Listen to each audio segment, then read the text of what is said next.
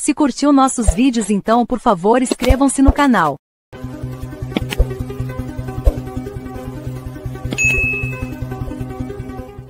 Deixe seu comentário neste vídeo por favor, pode ser até mesmo dizendo que o vídeo é ruim.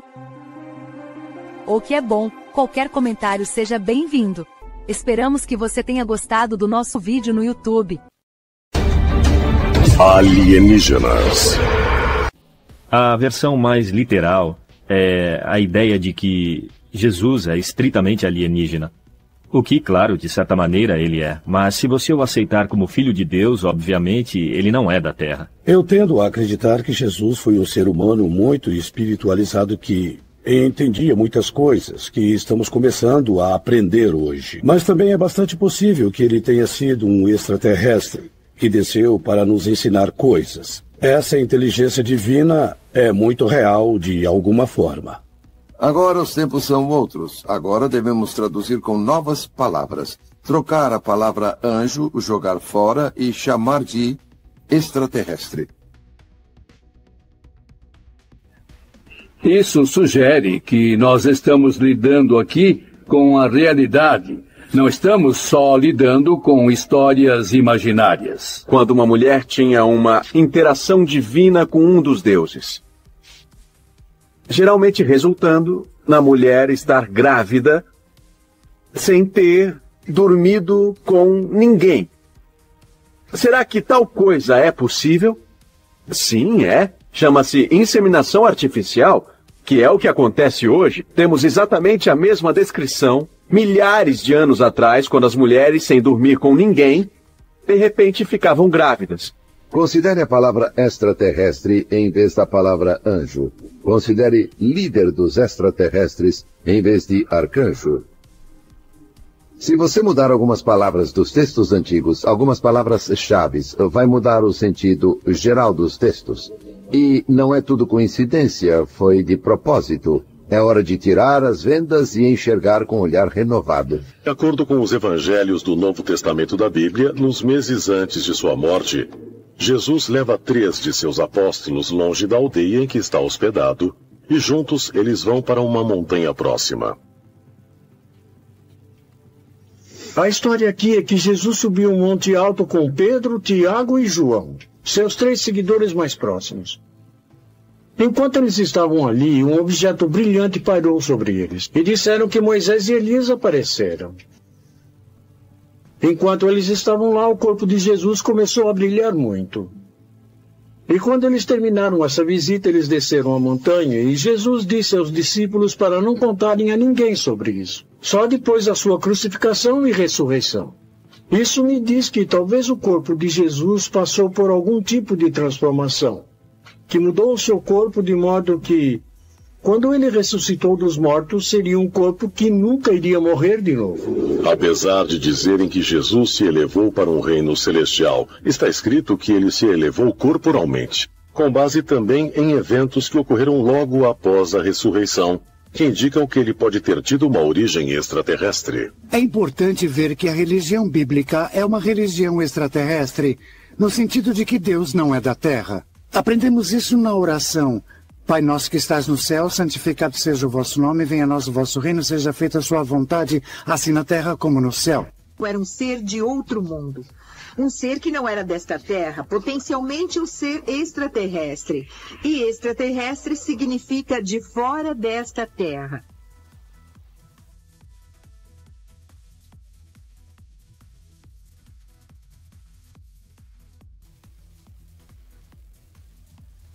João capítulo 8. Jesus disse outra vez: Vocês são daqui de baixo, e eu sou lá de cima. Vocês são deste mundo, mas eu não sou deste mundo. Por séculos, grandes levas de visitantes têm se reunido dentro desta catedral gótica para ver um sarcófago de ouro, que dizem conter os ossos dos reis magos, os três reis magos viajaram milhares de quilômetros para a chamada Terra Santa. Parece que acharam Belém sem o uso de mapas. Está escrito que eram astrônomos e seguiram as estrelas. Mas os três reis magos existiram mesmo? Ou a história da viagem deles para visitar Jesus tem outra origem, mais extraterrestre. Vimos que a estrela os guiou e ela pairou sobre a manjedoura onde estava Jesus e lançou raios de luz para iluminar a manjedoura onde estava Jesus. Se virmos isso sob o contexto atual das histórias de abdução alienígena, Deus, na verdade, desceu do céu em um tipo de OVNI. Podemos nos perguntar se os próprios reis magos não seriam extraterrestres. Ou, talvez, se a própria estrela de Belém não era uma espécie de astronave extraterrestre que conduziu os magos. No Evangelho de Mateus, no capítulo 28, diz: Um anjo de Deus desceu do céu, rolou a pedra, se sentou sobre ela, e sua roupa era branca e brilhante. Que chama de Espírito Santo. Uma figura fantasmagórica. Se você olhar na cabeça do Espírito Santo, vai ver os olhos dele no rosto. E por esse motivo eu acho que representa um evento. Então temos um relato de um ser que esteve lá, isso significa que poderes de outro mundo estavam envolvidos na ressurreição de Jesus. Segundo a Bíblia, se passaram vários meses após esse incidente até as autoridades romanas prenderem Jesus e o matarem através da crucificação. Sabemos que após a crucificação na sexta-feira à noite, ele é colocado em uma tumba. No domingo, quando Maria Madalena e as outras mulheres vêm para ungir seu corpo, a tumba está vazia. A pedra tinha sido retirada e seus panos de sepultamento foi tudo que restou. Se voltarmos ao século III, encontramos essa ideia de que Jesus, na verdade, nasceu numa caverna. Também existe a descrição da tumba da ressurreição como uma caverna, como um simples espaço vazio que tinha uma pedra circular na entrada. O que testemunharam? Por acaso, será que eles viram extraterrestres? Um dos aspectos mais intrigantes parecem ilustrar alienígenas é o motivo delas terem sido registradas dentro de cavernas. Isso deu origem à teoria de que talvez esses alienígenas tenham bases permanentes no subsolo do planeta. Talvez o homem primitivo tenha visto esses extraterrestres saindo de algumas cavernas e percebeu que havia alguma relação entre os alienígenas e as cavernas. A Bíblia faz menção de que quando Cristo é retirado da cruz, ele é enterrado numa tumba aberta na rocha. Parece mesmo haver um ambiente místico aqui. Temos essa ideia de que a caverna é o lugar onde um ser divino aparece e depois vai embora. É como se a passagem estivesse no interior da caverna. Eu era um ser de outro mundo. Um ser que não era desta terra, potencialmente um ser extraterrestre. E extraterrestre significa de fora desta terra. Hoje as pessoas enxergam Jesus como a pessoa mais justa e correta que já viveu e cuja personalidade não há uma mácula. Mas na verdade sua reputação no Novo Testamento era de um beberrão e comilão, e que seus amigos eram prostitutas e pecadores. A figura principal dos evangelhos que descobre que Jesus não está na tumba é Maria Madalena. Os outros duvidaram até o final. Quando Maria Madalena é a discípula preferida de Jesus, ela é a mulher muito próxima de Jesus, que a amava intensamente. Ela andou com ele junto com os discípulos desde que Jesus pregava na Galiléia. Ou seja, Maria estava acostumada com um trato cotidiano e direto com Jesus. Jesus de Nazaré beija Maria Madalena na boca, indicando que ela é alguém diferente e que está acima dos demais apóstolos. A pessoa com quem Jesus decide se contactar com, com uma mulher prostituta que se chama Maria Madalena, que é quem dá a boa nova. É para ela que Jesus aparece pela primeira vez. Uh, por isso, ela recebeu o título ou nome de Apóstola dos Apóstolos. Maria Madalena foi e anunciou aos discípulos que vira o Senhor e que ele lhe dissera isto. Quando Madalena disse que tinha visto Jesus, nessa hora Pedro zomba dela, diz: aquela mulher viu Jesus, mas que era apenas na sua imaginação. Então, inclusive, ele é repreendido por Levi por sua atitude que diz: Pedro, você sempre com esse seu mau gênio. Os escritores, a maioria eram homens. E as decisões de como fechar o cânone bíblico e de como ir fechando os evangelhos também foram tomadas por homens. Mas temos outros documentos que ela é considerada e que falam do ministério que ela exercia. Esse evangelho relata um encontro único entre Jesus e Maria Madalena. O evangelho de Maria Madalena nos fala de, de uma liderança da mulher. Porque diz, me foi revelada a sabedoria, fui conhecendo mais sobre ele. Então, no final das contas, o texto fala é, da, da vida de Jesus, aparentemente do ponto de vista de Maria Madalena, mas da forma como ela foi adquirindo conhecimento para chegar ao nível de Jesus. Um dos segredos da Bíblia era que o ministério de Jesus era financiado por muitas mulheres. Se você ler Lucas, fica claro que eram as mulheres que estavam contribuindo com fundos para o seu ministério. Algumas das mulheres tinham nome: Joana, Susana e também Maria Madalena, que vinha de Magdala seria Maria Madalena, a mulher que muitos acreditam ter sido uma prostituta qualquer, a maior patrocinadora do ministério de Jesus. Certamente descobrimos nos textos que há muitas referências ao relacionamento de Jesus com Maria Madalena. Ela é citada como sua amada. Ela também é citada de forma sexual nos evangelhos. Então, não só Jesus era casado, como Jesus era casado com Maria Madalena. Que Maria Madalena era a discípula mais próxima de Jesus, com quem ela teve um relacionamento que terminou em casamento. No Evangelho de Lucas, capítulo 8.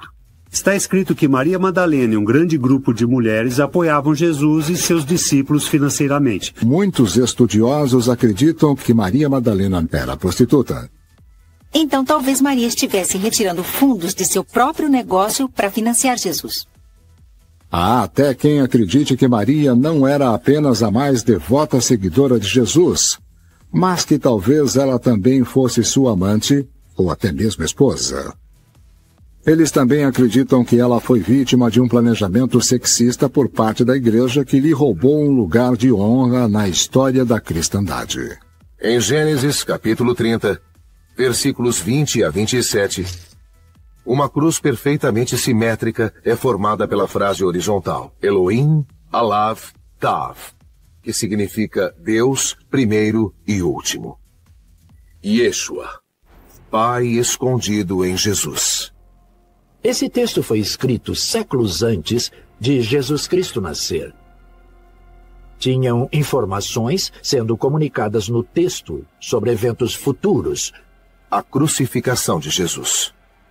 Continuando no código oculto em Gênesis, capítulo 30, versículos 20 a 27, estão as palavras Man, Dat, Madet, Kihan. A chave para o entendimento. O maná é condenado à morte por decreto real. Essa é uma frase, uma referência que Jesus faz a si mesmo. Ele diz: Eu sou o maná que desceu do céu. Então deve ter havido algo na mensagem de Jesus. Jesus ter predito sua crucificação, seu sofrimento, isso deve ter tido muita importância em seu movimento. Com certeza, ele deve ter dito o que ia acontecer, senão depois da morte dele, seus seguidores teriam ido para casa. Segundo os evangelhos do Novo Testamento, as autoridades romanas prenderam Jesus, acusaram-no de rebelião e o sentenciaram à morte por crucificação. Jesus acabou morrendo de maneira humilhante. E podemos nos perguntar: o que faz Jesus tão especial? Por que alguém ia querer seguir Jesus? Especialmente depois dele ter morrido. Mas, segundo estudiosos, os seguidores de Jesus voltaram às páginas do Velho Testamento em um esforço para provar que a morte de seu Salvador, de fato, foi o cumprimento de profecias bíblicas. Tentaram encontrar Jesus onde quer que fosse nas escrituras hebraicas. Então destacaram uma série de passagens que pareciam falar de alguém como Jesus e disseram: são profecias messiânicas.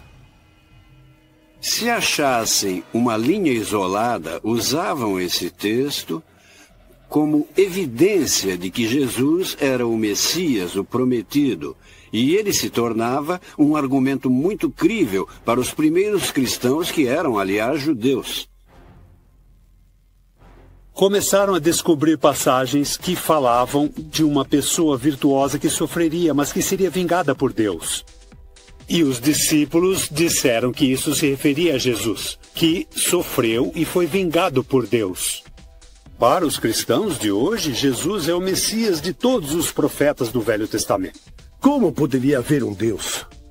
Se este mundo é um lugar tão injusto e miserável, a menos que tudo se acerte no futuro. Quando você começa a dizer que há vida eterna, que há a ressurreição dos mortos, que o mundo que virá é mais importante do que este, é como tirar um gênio da garrafa. E dá a esse personagem um nome: O Filho do Homem. No livro de Daniel, capítulo 7, versículos 13 e 14. No fim dos tempos, uma pessoa chamada o Filho do Homem virá e terá domínio sobre a terra.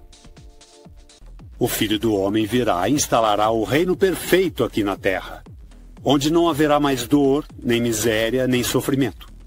Esse reino de Deus será um lugar perfeitamente utópico. E essa noção acabou sendo formalizada na noção de um Messias. Então, tanto judeus quanto cristãos, há dois mil anos, acharam que uma pessoa seria o Messias, que essa pessoa viria de Deus e tornaria tudo melhor. Os seus seguidores pensaram: estão vendo, ele é uma figura apocalíptica. Ele é o Messias.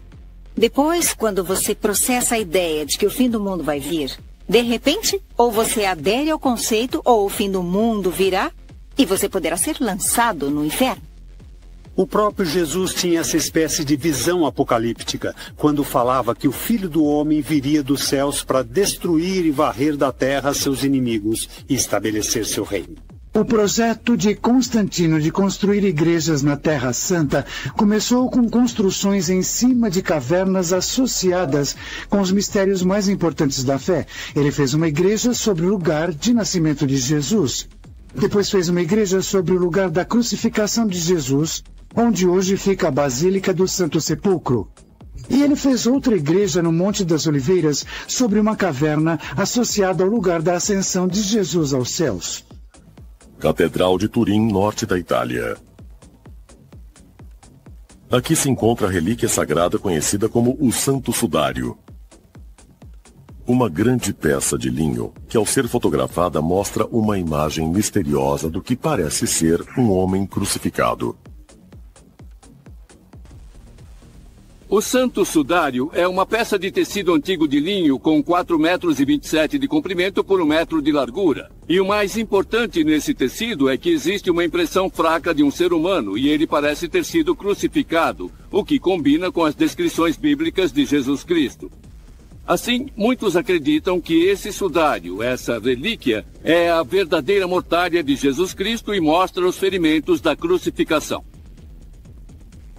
O Santo Sudário tem uma história tão fascinante, e a questão é: será autêntico? Os que são contra dizem que não, que isso poderia ser mesmo uma falsificação. E um corpo nunca deixaria esse tipo de imagem, que as substâncias de um corpo embalsamado não poderiam fazer algo assim. Mas as pessoas que dizem isso não conseguem explicar como a figura ficou ali. Não é pintada. Não parece ser um pigmento que foi aplicado ao tecido. O sudário tem sido estudado por cientistas e pesquisadores de todo o mundo. E com todo o conhecimento científico e equipamentos, ainda não sabemos como a imagem do sudário foi produzida. E é exatamente isso que eu acho que continua a nos fascinar, independente do que acreditamos. Quer seja um cristão que acredita que essa é a imagem do Cristo ressuscitado, ou alguém que só acredite que existe algum outro evento metafísico extraordinário que cause isso, Todos temos que ficar fascinados pelo fato de que essa relíquia extraordinária não foi criada por nenhum meio que conseguimos identificar no século XXI.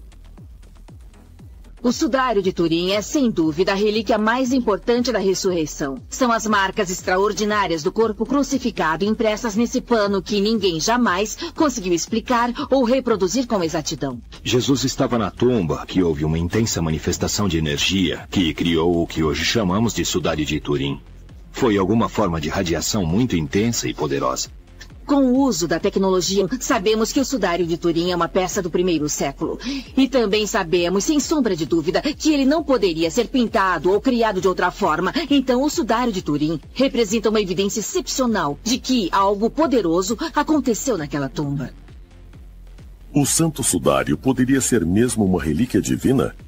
A evidência tangível da existência de um poder supremo? Em 2011, cientistas italianos conseguiram provar que o Santo Sudário foi criado por um flash sobrenatural de luz. Um flash de luz não terrestre. Na minha opinião, o Santo Sudário é a prova de que Jesus se transformou em um ser de luz e se projetou através do Santo Sudário. Será que o Santo Sudário realmente contém uma imagem de Jesus crucificado? Ou esse objeto sagrado poderia ser outra coisa?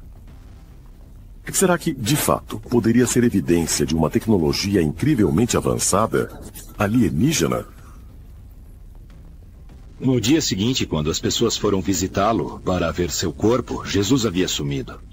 Então, dois seres reluzentes, não humanos, encontraram essas duas testemunhas do lado de fora da tumba e informaram que Cristo havia ressuscitado e que havia partido. É possível que aquela caverna fosse algum tipo de passagem ou portal, porque em muitas dessas histórias as cavernas ligam a terra e o céu. Muitos cristãos acreditam que essa ressurreição reencarnacionista na cultura ocidental significa que os seres humanos podem e muitos no final vão ressuscitar dos mortos. Quando as pessoas vêm para a tumba, elas encontram a tumba vazia. Eles descrevem em dois evangelhos os jovens rapazes com roupas que estavam brilhando e parece com encontros extraterrestres dos dias de hoje, onde vemos seres de luz. Então eles dizem: por que vocês estão procurando o vivo nos mortos? Jesus se foi, como ele disse que aconteceria.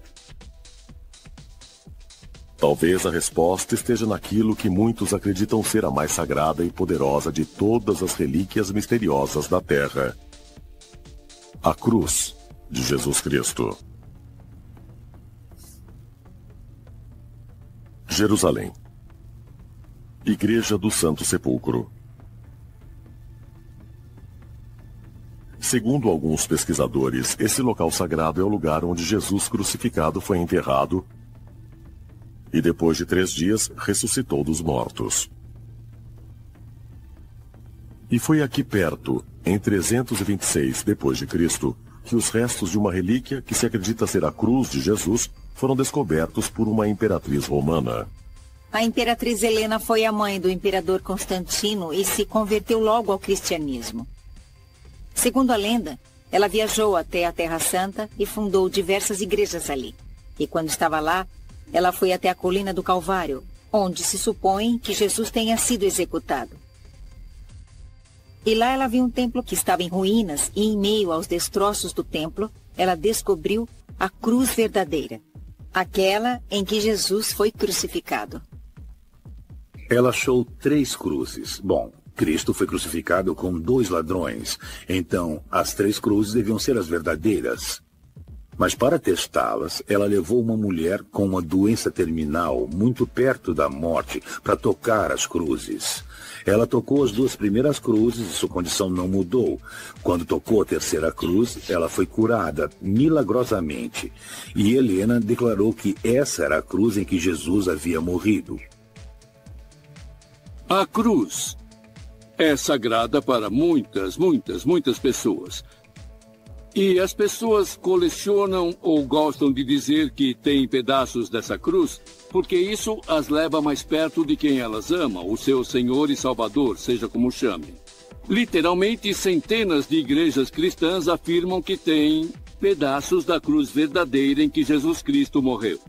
Acreditava-se que, como muitas relíquias, partes de corpos de santos ou a cruz verdadeira em que Jesus foi crucificado, tinha todo tipo de poderes milagrosos, inclusive poder de cura e poder de conceder a salvação. Então, se você tocasse ou possuísse uma relíquia da cruz, um pedaço da cruz, parte do poder que Cristo tinha, iria se transferir para você pelo poder do toque.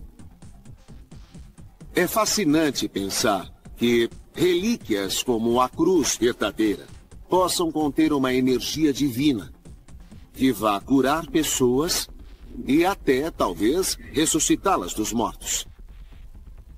Seria possível que fossem algum tipo de artefatos extraterrestres com algum poder interno que não compreendemos?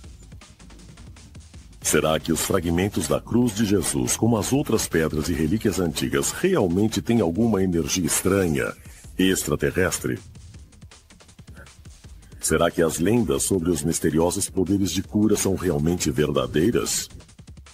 É muito humano que as pessoas queiram possuir um pedaço de tecido, uma pedra, um fio de cabelo, queiram ter um objeto que significa algo para elas, um objeto que possa ajudá-las na vida. Será que essas relíquias nos ajudam a invocar um poder de outro mundo?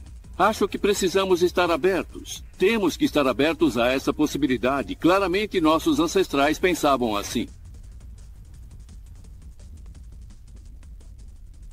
As relíquias antigas foram muito importantes para muitas e diferentes culturas, como ainda são hoje para as religiões. E a razão disso é que se acreditava que elas eram pontos de acesso para ambientes de outros mundos, onde deuses, espíritos e os imortais habitavam. Por toda a história, vemos que algumas de nossas figuras mais poderosas, nossos líderes mais poderosos, fizeram buscas por relíquias. Eles procuraram o Santo Graal, a lança do destino, a chave da vida. E a crença é que, se pudermos obter essas relíquias, conseguiremos poderes além da compreensão humana. Poderes que originalmente vieram dos deuses e que nos tornarão mais como deuses, se pusermos as mãos nelas. Nas profundezas de uma caverna nos penhascos do deserto, os arqueólogos descobriram um manuscrito misterioso de dois mil anos, escrito em uma folha de cobre. Todos os manuscritos do Mar Morto encontrados estavam escritos em couro ou em papiro. O manuscrito de cobre é o único feito de cobre. É preciso ter em mente que o cobre era valioso e que gravar um manuscrito inteiro exigia muito tempo e muita técnica. Então tem que ser muito importante. Os estudiosos que examinaram a linguagem no manuscrito de cobre concordam que é diferente de tudo encontrado em outros textos da época. A escrita dele é um pouco diferente. Não está só em hebraico, nem mesmo em aramaico, e também tem letras gregas gravadas. Então isso é muito peculiar. O que torna o manuscrito de cobre tão fascinante é que ele menciona tesouros ocultos.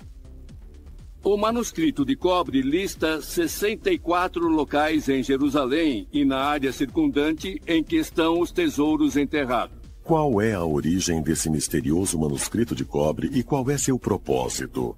Parece ser um artefato estranho e está escrito em metal. E agora temos histórias de outros livros antigos, supostamente escritos em folhas de ouro. Todos esses livros metálicos escrita em folhas de cobre ou ouro, sejam parte de alguma biblioteca extraterrestre. Será que o misterioso manuscrito de cobre teria origem extraterrestre? E o fato de ser feito de cobre indicaria uma conexão entre objetos de metal e seres de outro mundo? Costa do Mar Negro, na Bulgária, julho de 2010. Aqui, nas ruínas de uma igreja medieval na ilha de St. Ivan, foram descobertos seis fragmentos de ossos humanos em um sarcófago de mármore. Por meio da datação com radiocarbono e testes de DNA de um osso da mão, os cientistas concluíram que os ossos são do século I Cristo. Mas o que é ainda mais incrível é que muitos acreditam que os ossos são realmente de São João Batista. No cristianismo, João Batista é especialmente importante porque ele é conhecido como pioneiro, o precursor, aquele que vem antes do Messias. E com as histórias de João Batista, ele se tornou extremamente importante para os cristãos, porque anunciava que um grande Messias viria depois dele. E as lendas ao redor dos ossos de João são todas lendas de extremo poder. João foi um profeta. Atualmente, em igrejas de toda a Bulgária, milhares de fiéis vão visitar, rezar e até adorar esses fragmentos ósseos. Por quê? O que existe nos ossos antigos, em especial os de um santo, que impele as pessoas a irem vê-los? Poderiam ter algum poder místico ou extraterrestre? A ideia de que os ossos e relíquias de santos têm poder é algo que data dos primeiros dias do cristianismo. E certamente na parte final da Idade Média, isso se transformou num grande negócio.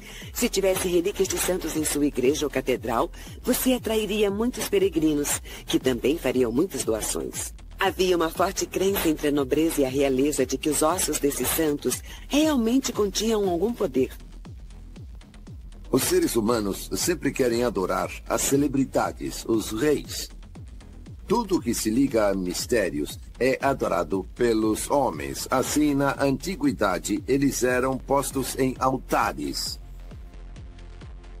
Quando um alto sacerdote morria, parte de seu corpo, parte de seus ossos, era às vezes separada e levada a diferentes países. E todos adoravam os ossos em um altar. Isso ainda acontece na cristandade. Parece que os extraterrestres têm vindo para a Terra já faz muito tempo e estão tendo relações com os seres humanos. E a razão disso seria para manipular o nosso DNA, nos tornando uma raça mais refinada em relação ao que nós somos hoje. E nós ainda temos que passar por uma certa evolução.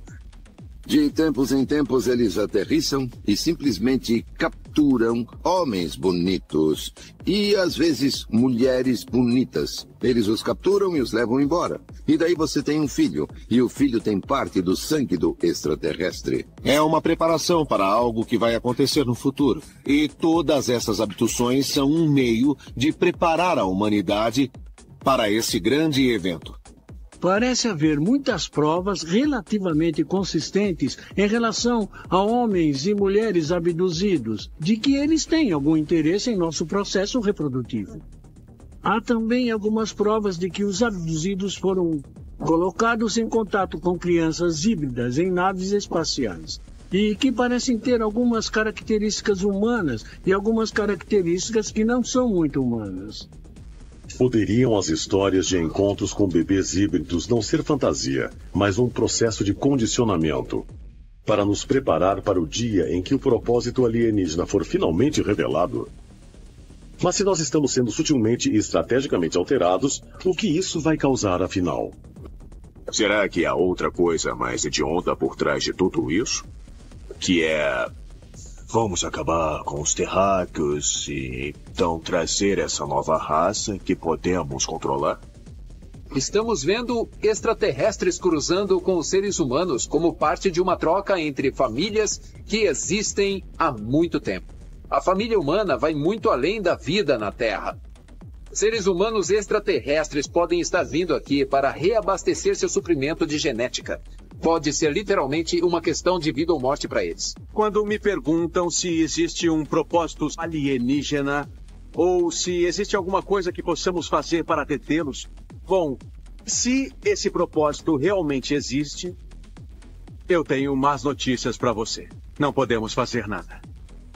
Será que os extraterrestres estão realmente cruzando com os humanos para realizar um propósito alienígena secreto? Será que eles estão melhorando nossa composição genética? Ou eles estão fazendo experiências com o nosso DNA para um dia nos substituírem por uma raça humana superior? Talvez um dia a gente descubra que uma invasão alienígena vem ocorrendo na Terra há milhares de anos. Uma que está ocorrendo dentro de nossos próprios corpos. Um espírito que seduz mulheres durante seu sono. Representações de seres sobrenaturais também são conhecidos como incubo, e no feminino, sucubo, e existem no folclore de várias culturas. Uma entidade feminina pode atrair sua vítima masculina, que pode ser o sucubo. Um incubo seria a versão masculina disso. Sendo incapaz de respirar, sentindo-se congelado, coisas muito similares ao que aconteceu às pessoas no fenômeno de abdução moderno. Basicamente, essas histórias são sobre essas entidades malignas que, de alguma forma, chegam até as pessoas em seu sono durante a noite. Seres com a habilidade de seduzir e fisicamente abduzir humanos são entidades sobrenaturais, de outra dimensão, que podem aparecer e desaparecer como quiserem. Eles são descritos como sendo benevolentes e malvados para os seres humanos, e geralmente geralmente se revelam através de mensagens que podem ser boas ou ruins. Existem muitas teorias sobre por que extraterrestres podem estar visitando a Terra. Para eles virem aqui armados para nos exterminar ou escravizar.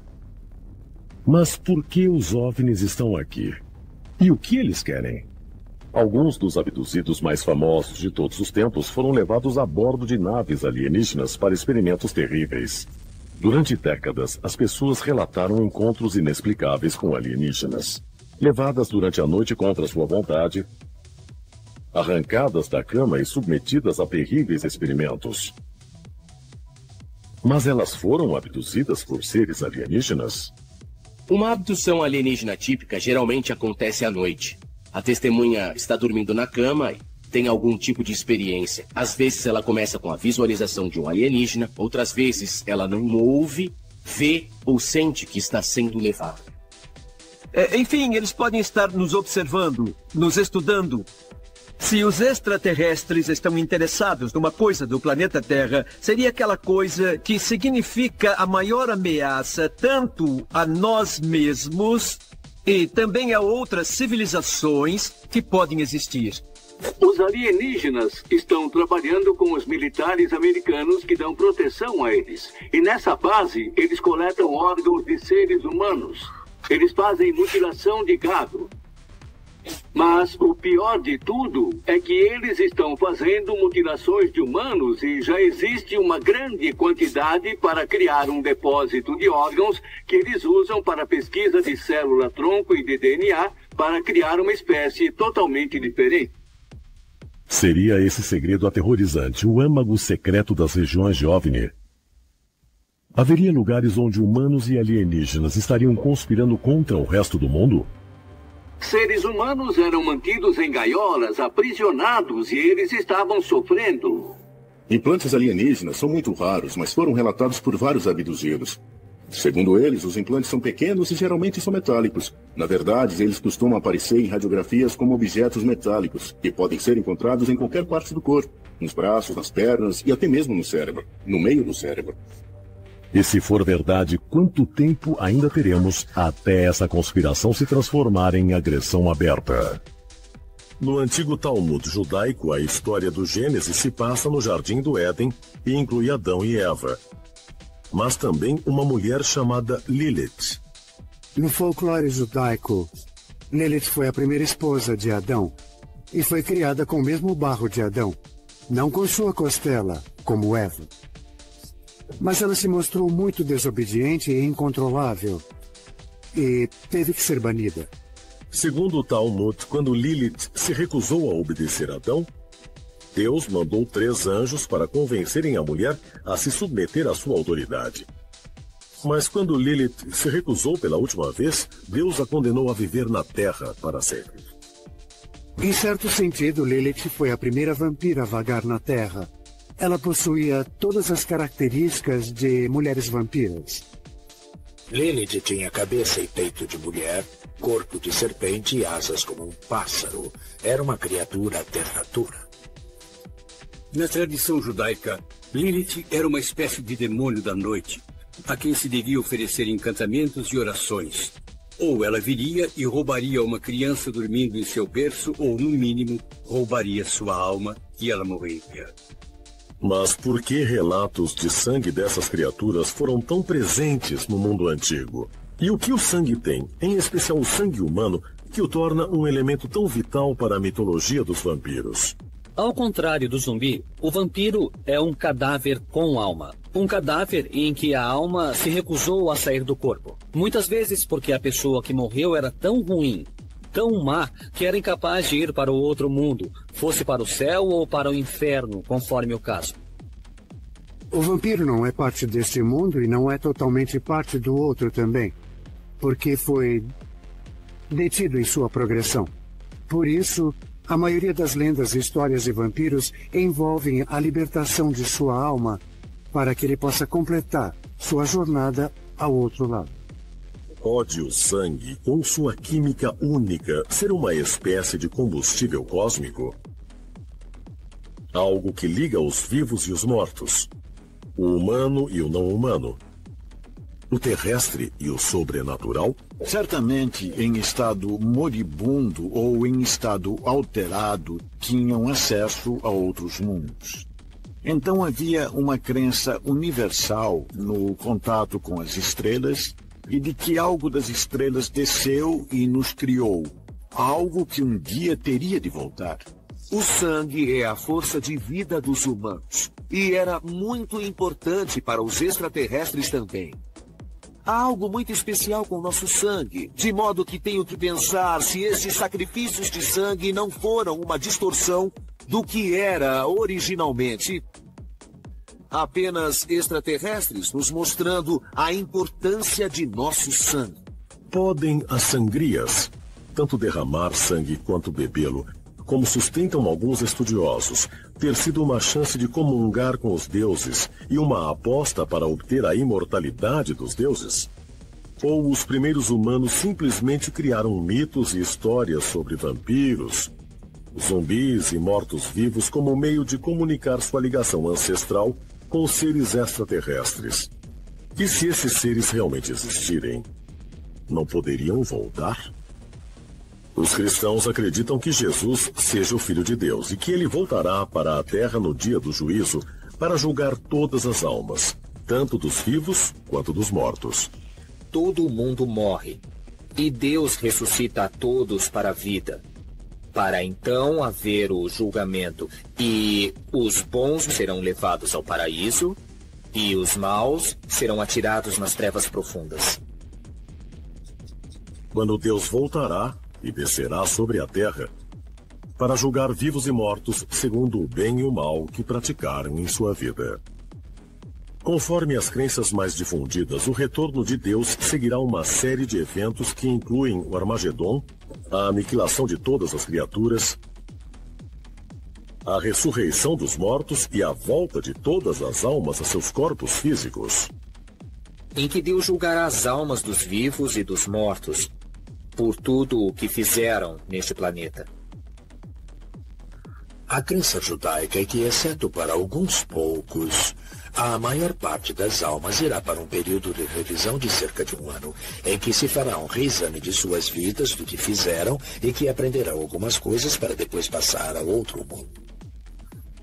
No dia do juízo final, vamos ver que as almas dos mortos serão reunidas a seus corpos físicos que serão reerguidos dos mortos e reconstituídos mesmo geneticamente pelo próprio Deus. Poderá haver o dia em que seremos revisitados por seres alienígenas ou talvez por alienígenas ancestrais?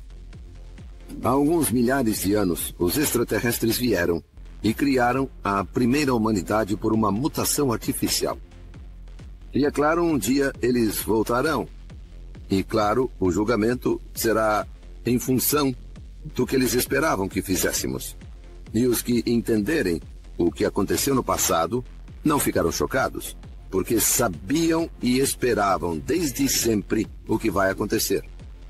Na minha cabeça, será quando os extraterrestres genuinamente retornarão ao nosso planeta e se anunciarão, e nessa altura, os humanos que atingiram a iluminação se juntarão a seus irmãos, os extraterrestres, os antigos astronautas que nos criaram, e todos voltaremos às estrelas. O fato é que a história da criação em nossa Bíblia é a história da criação nas culturas de todo o mundo. A história do dilúvio, a evolução da espécie humana, o desenvolvimento da linguagem. Tudo isso indica e a Bíblia afirma que a vida na Terra veio do contato com uma forma de vida extraterrestre. Isso está na Bíblia, está nas culturas antigas de todo o mundo e acredito que existem evidências claras e acho que quanto mais se tenta refutar essa evidência, mais se acaba percebendo que realmente nos visitaram e vieram à Terra milhares e milhares de anos atrás e iniciaram a civilização que temos hoje.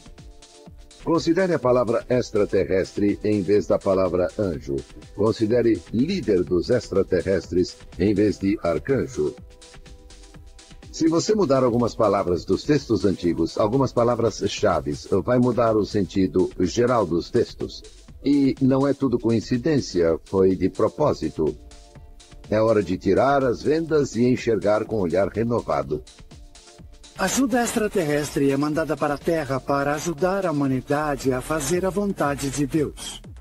É importante ver que a religião bíblica é uma religião extraterrestre, no sentido de que Deus não é da Terra. Aprendemos isso na oração. Pai nosso que estás no céu, santificado seja o vosso nome, venha a nós o vosso reino, seja feita a sua vontade, assim na terra como no céu. Quando as pessoas começam a rezar, a energia sobe rapidamente. Existem inúmeras histórias bíblicas que nos fazem suspeitar de que talvez o Homo sapiens não foi a única espécie na Terra, ou até mesmo a primeira.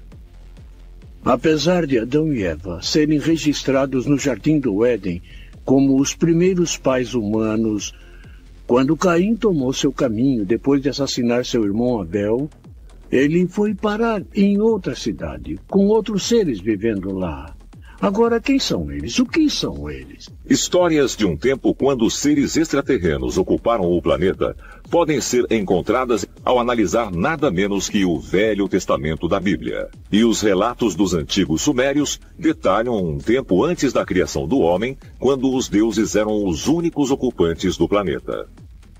Um exame detalhado do famoso Velho Testamento da Bíblia judaico-cristã sugere que, apesar de Adão e Eva serem presumivelmente os primeiros humanos criados por Deus, o filho deles, Caim, saiu para se casar e se juntar com uma comunidade próspera.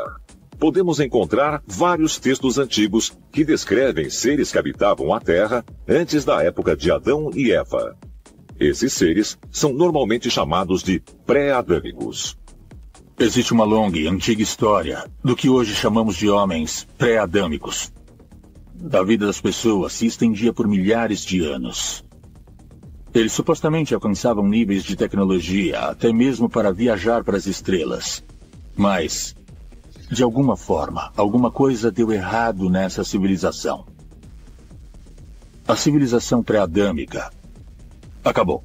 Mas, alguns foram para as estrelas. E Deus ordenou que eles vigiassem e observassem. Vamos supor por um momento que tínhamos esse incrível planeta e de repente extraterrestres e outros seres vieram aqui e eles tinham suas próprias construções, seus próprios monumentos, suas próprias comunidades durante pelo menos algum tempo. E então, em determinada altura, eles foram embora. A ideia básica é que os extraterrestres colonizaram o planeta Terra há milhares de anos. E nós não estamos falando de 10 ou 15 mil anos atrás, mas sim de centenas de milhares de anos atrás. É possível que uma civilização avançada tenha realmente existido na Terra durante a pré-história da humanidade? Iraque, Síria, o que nós chamamos de Oriente Médio ou Oriente Próximo, é chamado de o berço da civilização por um motivo. Antropologicamente, parece que é o lugar onde surgiram os primeiros humanos.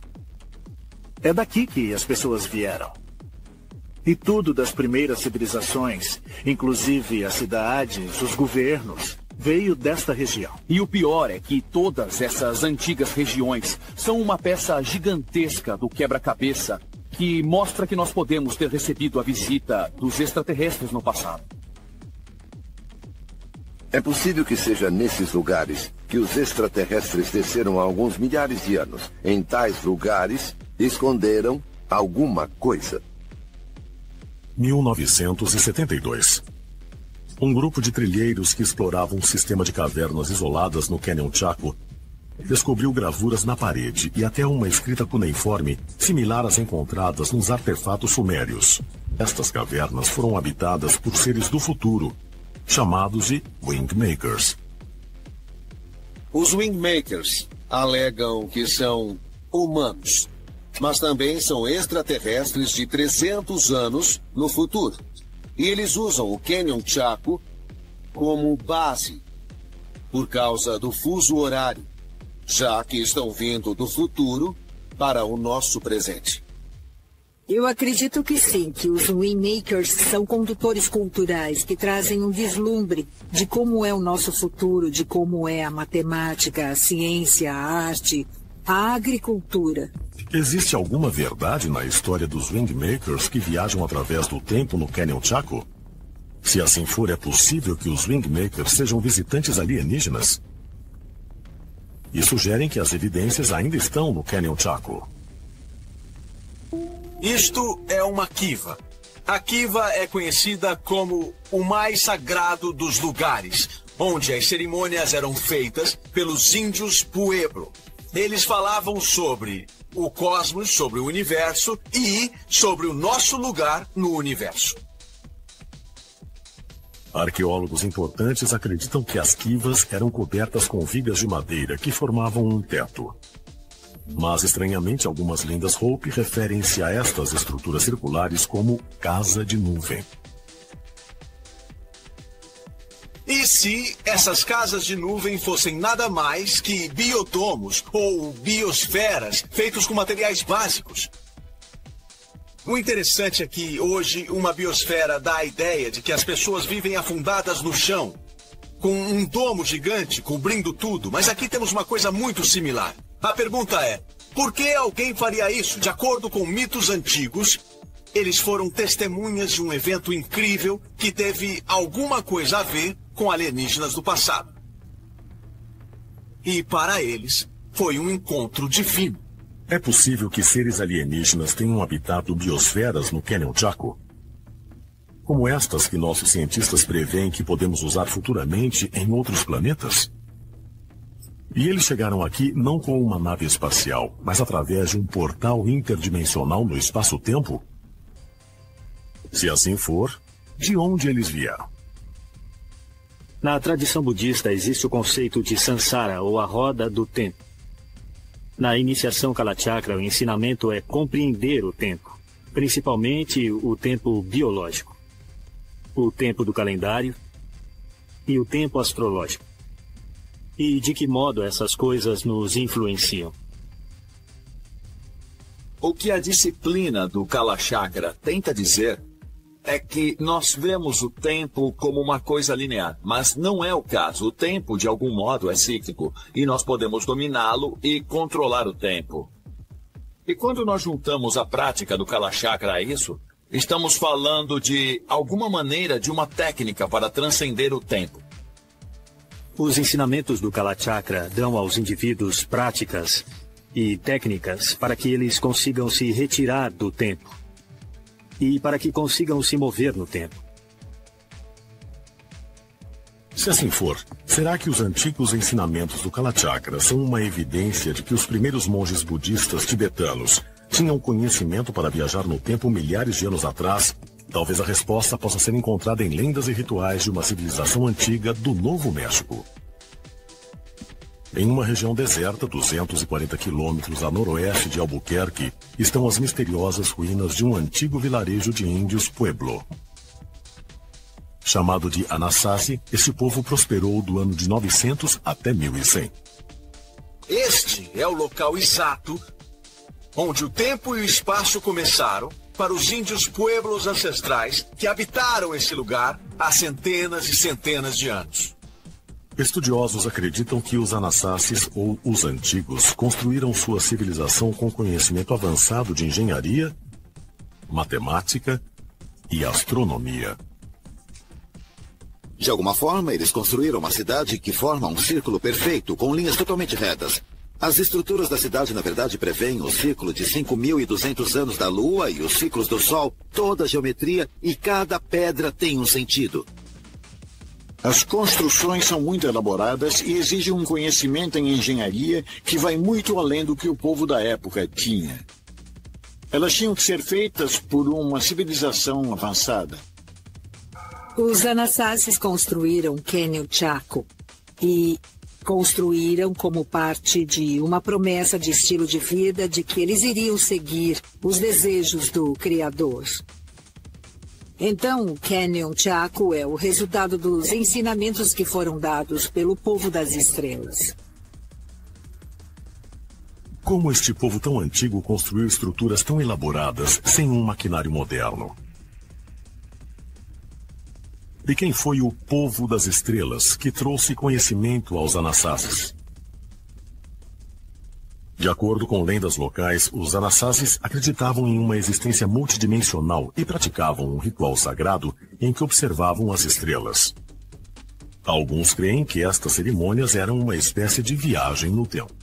Subindo até o alto dos penhascos onde os Anassasis construíram suas casas, é possível ver mapas estelares elaborados nas paredes das cavernas. Era aí que as cerimônias de observação de estrelas aconteciam, onde eles tinham a habilidade de viajar no espaço-tempo. O que vemos nessas gravuras são pessoas que basicamente dizem que de algum jeito vieram de uma outra dimensão, que chegaram nesse lugar. Elas dizem que aquilo é um local de aparecimento. Elas dizem que interagiram com criaturas misteriosas. Se for o caso, será que eles deixaram alguma evidência tangível do contato com outro mundo? O símbolo da espiral que se vê em várias paredes é uma conexão entre os Anassasis e os extraterrestres. Eles tiveram contato. Ou eles vieram com eles ou foram embora com eles. Nós não sabemos, mas isto é uma ponte que existe entre os Anassasis e o povo das estrelas. Alguns chegaram a sugerir que isso é uma representação do antigo povo formiga, que surgiu basicamente para dar início à civilização humana. De acordo com as lendas Hopi, uma tribo indígena americana considerada descendente dos Anassasis, o povo formiga a salvou da primeira destruição do universo. O povo formiga é descrito como visitantes cósmicos muito especiais. Talvez até seres estelares extraterrestres que salvaram os índios do cataclismo, os levando para o subterrâneo. O interesse nisso é que na antiga Suméria há citações de seres chamados de Anunnakis, que também vieram das estrelas. A palavra Hopi Anu significa formiga e a palavra Naki significa amigo. É possível que os Anunnakis sejam os amigos formiga ou o povo formiga que os Hopis descreveram. Talvez a resposta possa ser encontrada do outro lado do mundo. Cidade do Vaticano, Itália. O Papa Bento XVI desce pela nave da Catedral de São Pedro levando um crucifixo de ouro. Chegando ao altar, ele ergue o turíbulo um vaso metálico suspenso por correntes, no qual se queima incenso para purificação. O Papa recita a oração eucarística e depois ele e a congregação consomem o pão e o vinho consagrados.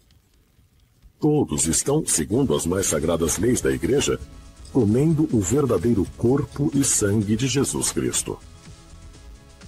Na missa, o padre tem o poder das orações que recita para energizar a substância, a substância do pão e a substância do vinho, de tal forma que elas se transformam, se transubstanciam, mudam para a presença viva do corpo e do sangue de Cristo.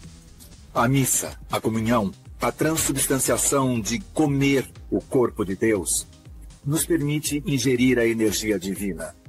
Isso se chama maná, a energia mágica, e o aspecto quase canibalístico do ritual é crucial para a expiação que está na reconciliação de se tornar um só com a fonte divina. No Novo Testamento, a segunda carta de Pedro atesta que os crentes nessa prática se tornam participantes da natureza divina, tornam-se unidos a Deus. A Igreja Católica Romana aderiu a essa interpretação de comunhão de modo tão forte que no século XVI o Concílio de Trento declarou que quem negasse isso podia ser excomungado. E durante a famosa Inquisição Espanhola, não crentes foram chamados de herético. Mas o que quer dizer tornar-se um com a divindade? A maioria dos historiadores diz que o ritual da missa remonta à última ceia, quando o ato de Jesus de servir pão e vinho a seus discípulos, durante a celebração da Páscoa, na verdade, criou um poderoso elo espiritual que não deve ser quebrado. Mas há quem acredite que a missa católica se originou em um ritual praticado milhares de anos antes. Estudiosos especulam que a missa, na verdade, se inspirou na mitologia egípcia em um ritual que era feito para o deus Osíris. A ideia era de se tomar a substância divina, o corpo do Deus em nós, para nos unificarmos a essa energia transcendental. A lenda de Osíris diz que ele foi morto e desmembrado por seu invejoso irmão. E depois ressuscitou das várias partes de seu corpo por sua esposa, Isis. Sacerdotes egípcios reencenam esse antigo evento com um ritual que envolve barro e trigo. O ritual tem a ver com fazer bolos de trigo parecidos com os pedaços desmembrados do corpo de Osíris, que depois são escondidos e uma mulher, a esposa dele, encontra esses pedaços e, no fim, os sacerdotes comem os pedaços. Quem comia os bolos de trigo sacramentais acreditava ter trazido o deus Osíris de volta à vida neles mesmos. Mas de onde os antigos egípcios tiraram essa ideia tão profunda? A pergunta que se faz é se eles estavam imitando coisas que tinham visto, que envolviam, de alguma forma, a transformação de Osíris morto em uma pessoa regenerada. Quando analisamos alguns desses rituais, vemos que o contato com o divino é uma tecnologia, seja para um ritual ou uma prática ou para imitar extraterrestres. Pode a cerimônia católica romana de comer o corpo e o sangue de Cristo ter se originado na história de Osíris, no Egito Antigo? E se for assim, isso sugere que a religião católica, como outras crenças antigas, tenha raízes em um encontro extraterrestre? Um ritual é uma encenação participativa e o objetivo principal do ritual é comunicar algo de uma crença ou então de uma ideia. Esses antigos rituais coincidiram com o aparecimento de várias constelações no céu, várias estrelas. Pelo mundo inteiro, nas antigas sociedades, havia a crença de que os seres humanos foram postos no planeta Terra por seres estelares. Em 1985, o Dr. Lipinski levou seu eletroscópio ao santuário de Medjugorje, Yugoslávia. Para medir a energia criada, se houvesse, por um grande grupo em oração. Há décadas, milhares de pessoas se reúnem nesse lugar, onde dizem ter visto uma aparição da Virgem Maria flutuando nos céus. Que depois do tempo das aparições, especialmente quando havia grupos em oração, houve leituras no eletroscópio. E essa forma de energia agora está sendo explicada pelos físicos em termos de vibrações. Quando as pessoas começam a rezar, a energia sobe rapidamente. E por esse motivo eu acho que este desenho representa um evento. A mitologia, como as lendas, contém histórias reais.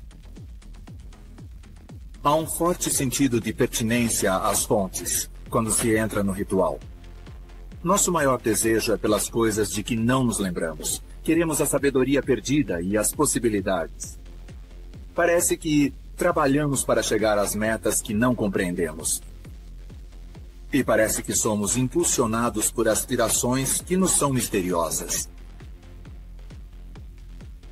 Os que vêm de outro mundo, nossos parentes, são os que trazem as leis e as instruções nas cerimônias e nos rituais para que as pessoas passem por um processo de evolução.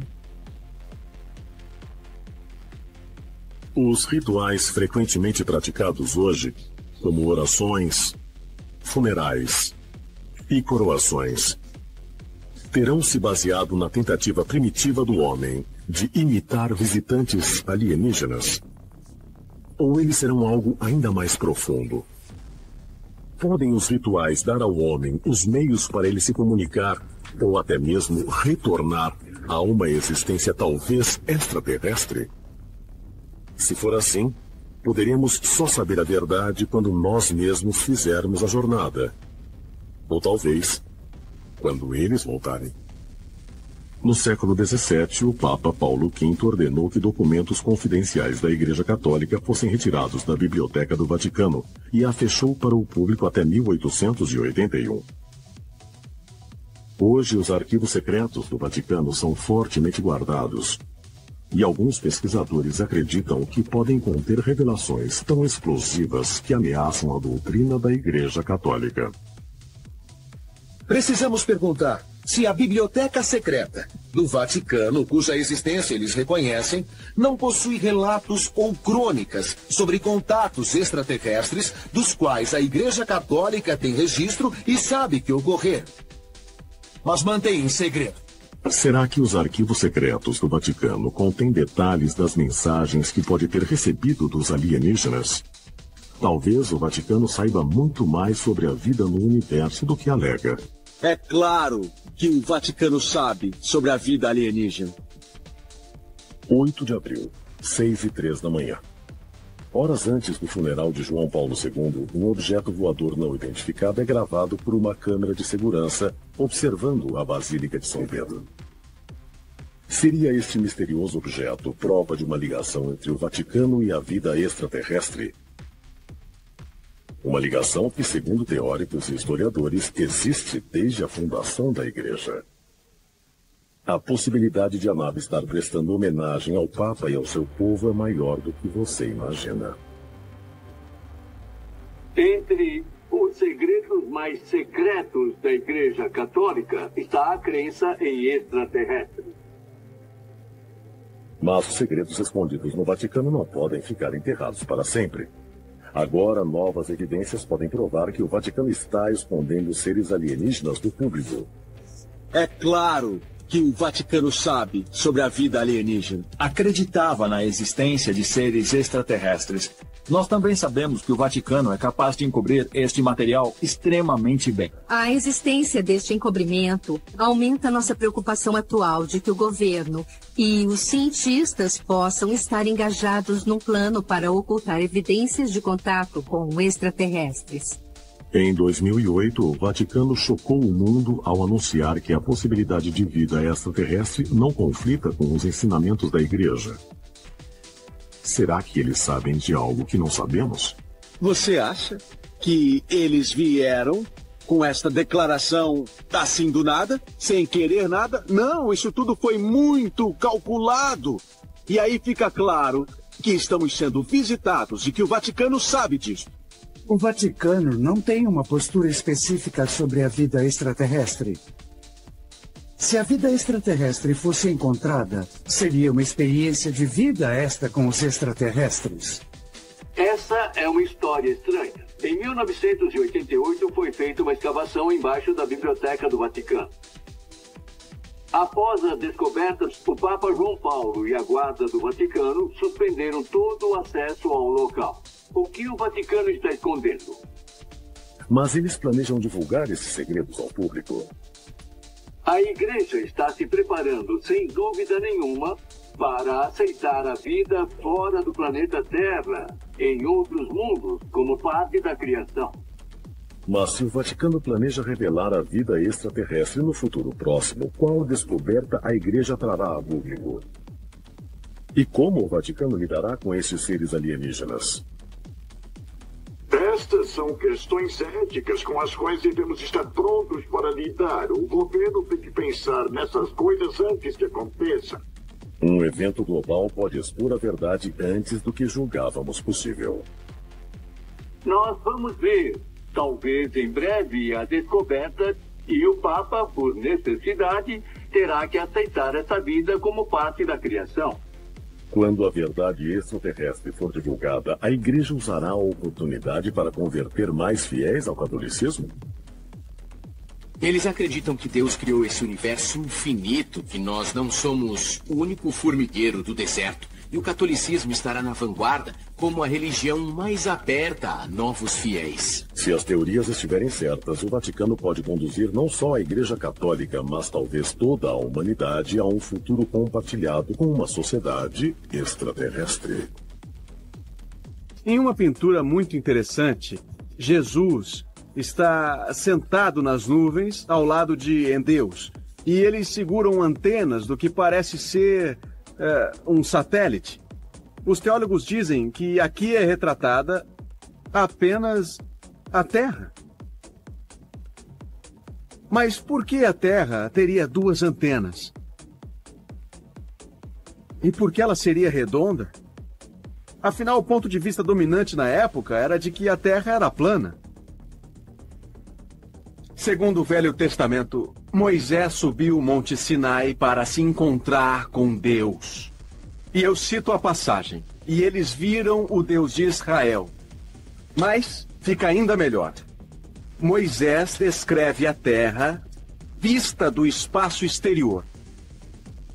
A citação é: Então eu vi todo o redondo da terra, ao mesmo tempo as profundezas e as vastas altitudes dos céus.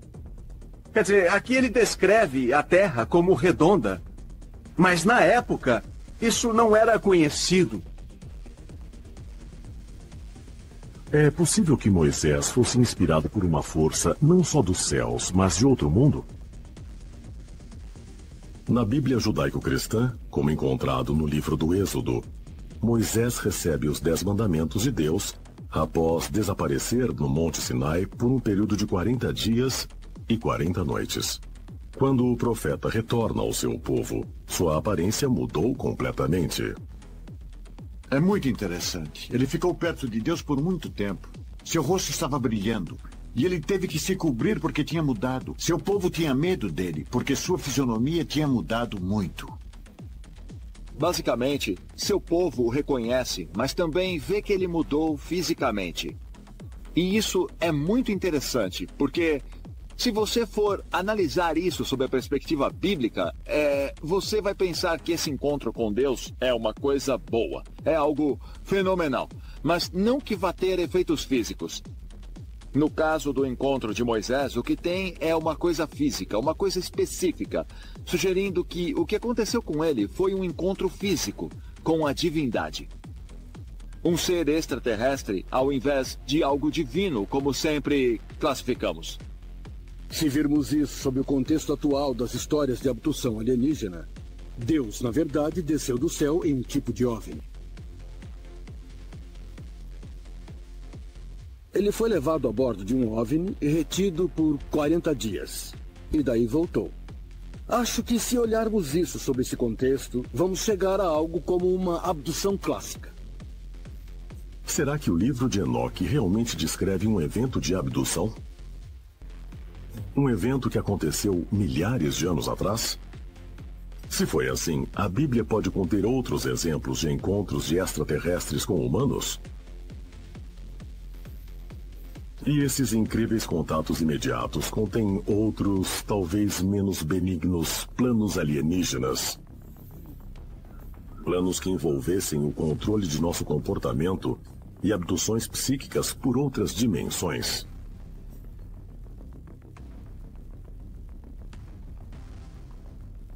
Pesquisadores dizem que abduções por alienígenas têm ocorrido há milênios.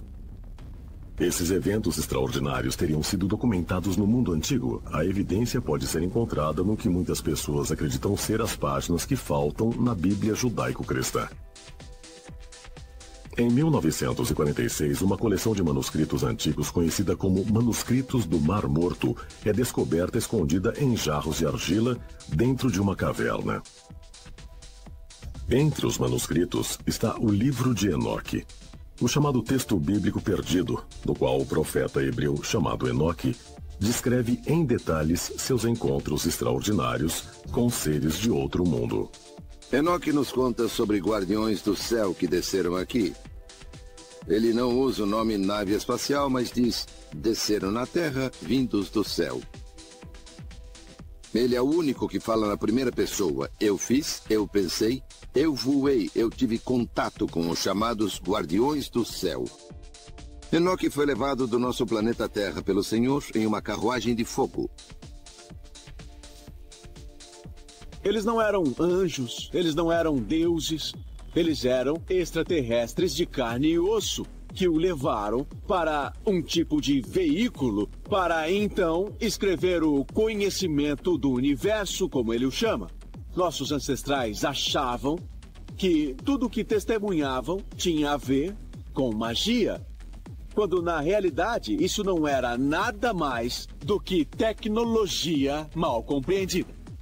Será que os relatos bíblicos de Enoque e Moisés sugerem um encontro extraterrestre? Onde seres alienígenas trazem mensagens de paz e harmonia para os humanos?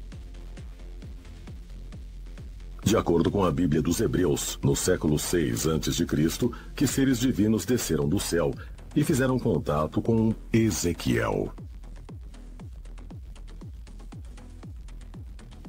Ezequiel estava no rio Cabur. E ele disse que um grande redemoinho veio na direção dele. Ele o descreveu como fogo se abrindo.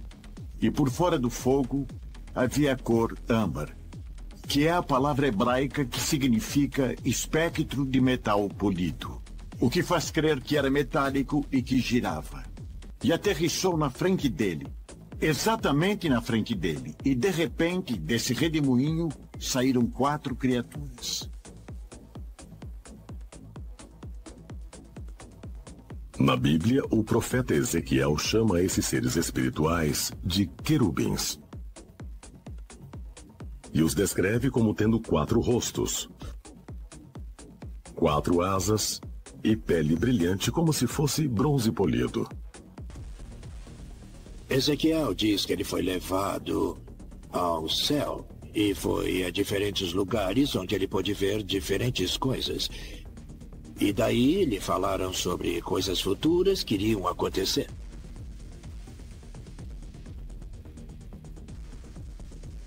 Mas o que de fato era esse objeto misterioso que parou na frente de Ezequiel e o levou para o céu? E quem eram os seres estranhos que surgiram e partilharam sua visão do futuro com o profeta? Ele descreveu que eram semelhantes aos homens, mas pareciam ter rostos diferentes, de diferentes animais. E algumas pessoas interpretaram isso como sendo talvez roupas espaciais. Imagine o capacete, a máscara de oxigênio, esse tipo de coisa. Ele poderia ter visto, na verdade, algo que era um rosto, mas que não se parecia com um rosto. Ele deu a melhor descrição de um OVNI que existe na Bíblia, porque ele diz que a coisa parecia uma roda dentro de uma roda, que é a descrição clássica de um disco voador. Basicamente, é o relato de um cara que foi abduzido e a quem disseram algumas coisas e que retornou para o seu lugar de origem. Isso seria o que hoje descrevemos como um relato de abdução. Pode ser que o relato do profeta Ezequiel do seu contato imediato no céu tenha sido alguma coisa a mais.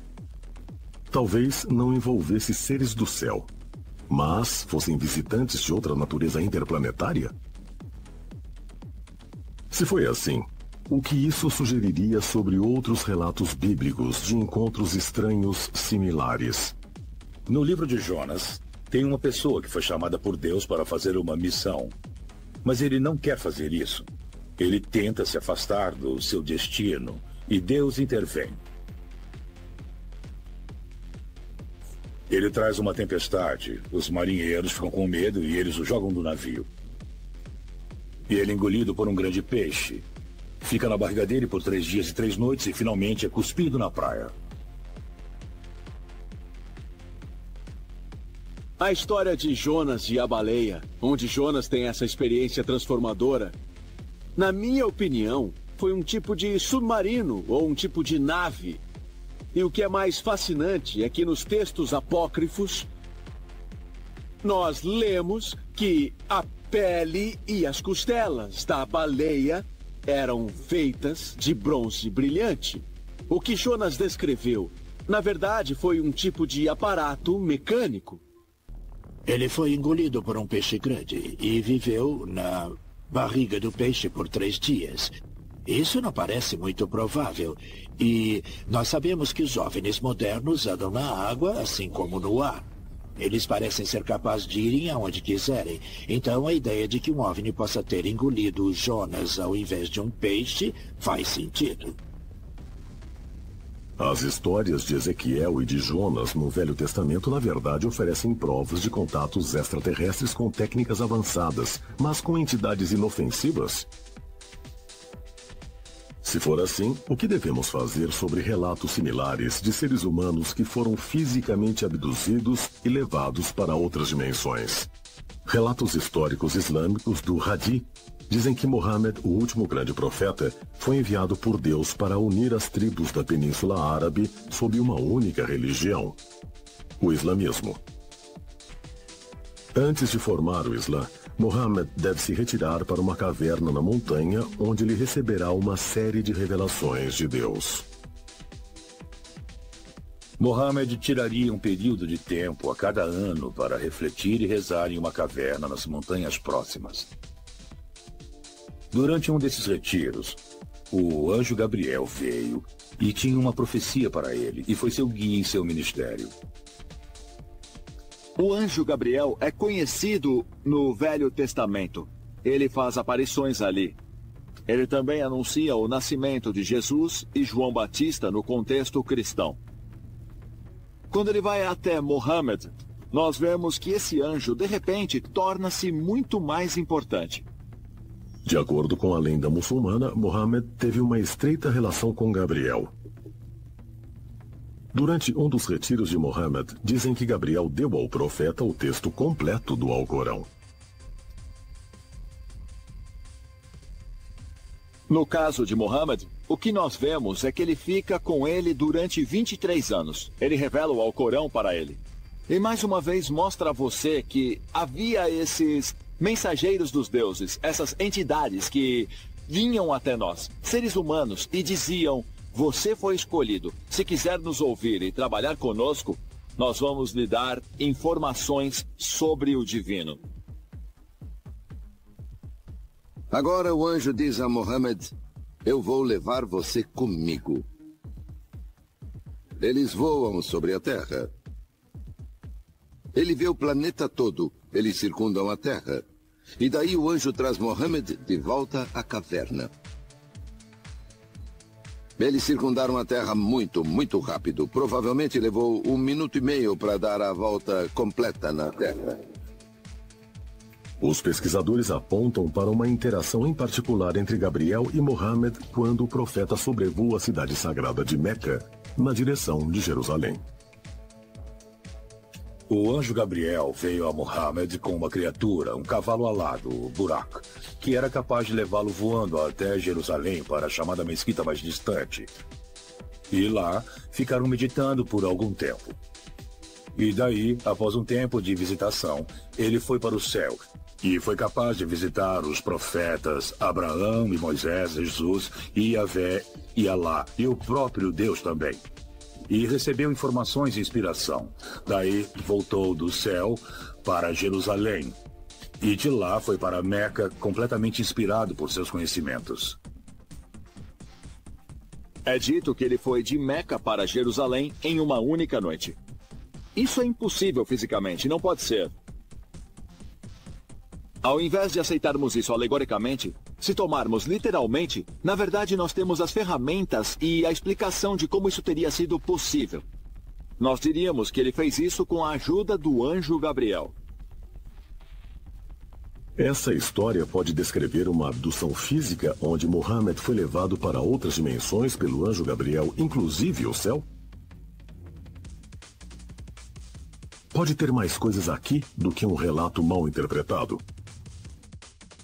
A popularidade dos anjos da guarda da cultura moderna tem a ver com a ideia de que a gente quer algum tipo de proteção sobrenatural em um mundo onde geralmente as pessoas não se sentem seguras.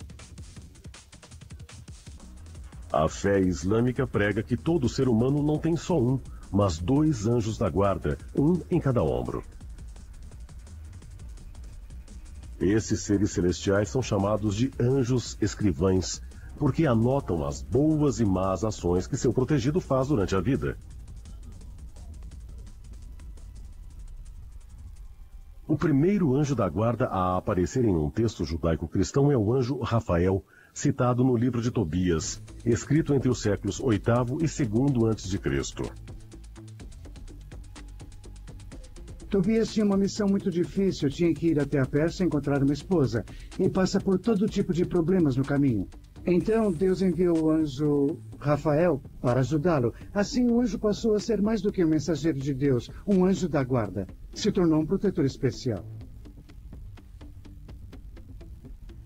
A ideia do anjo da guarda só existe porque nós desejamos? Nós acreditamos que alguém está nos protegendo ou é algo que vem do passado? Será que tem algo a ver com extraterrestres? Pode ser que algum alienígena tenha dito aos humanos: Vamos proteger vocês, não tenham medo.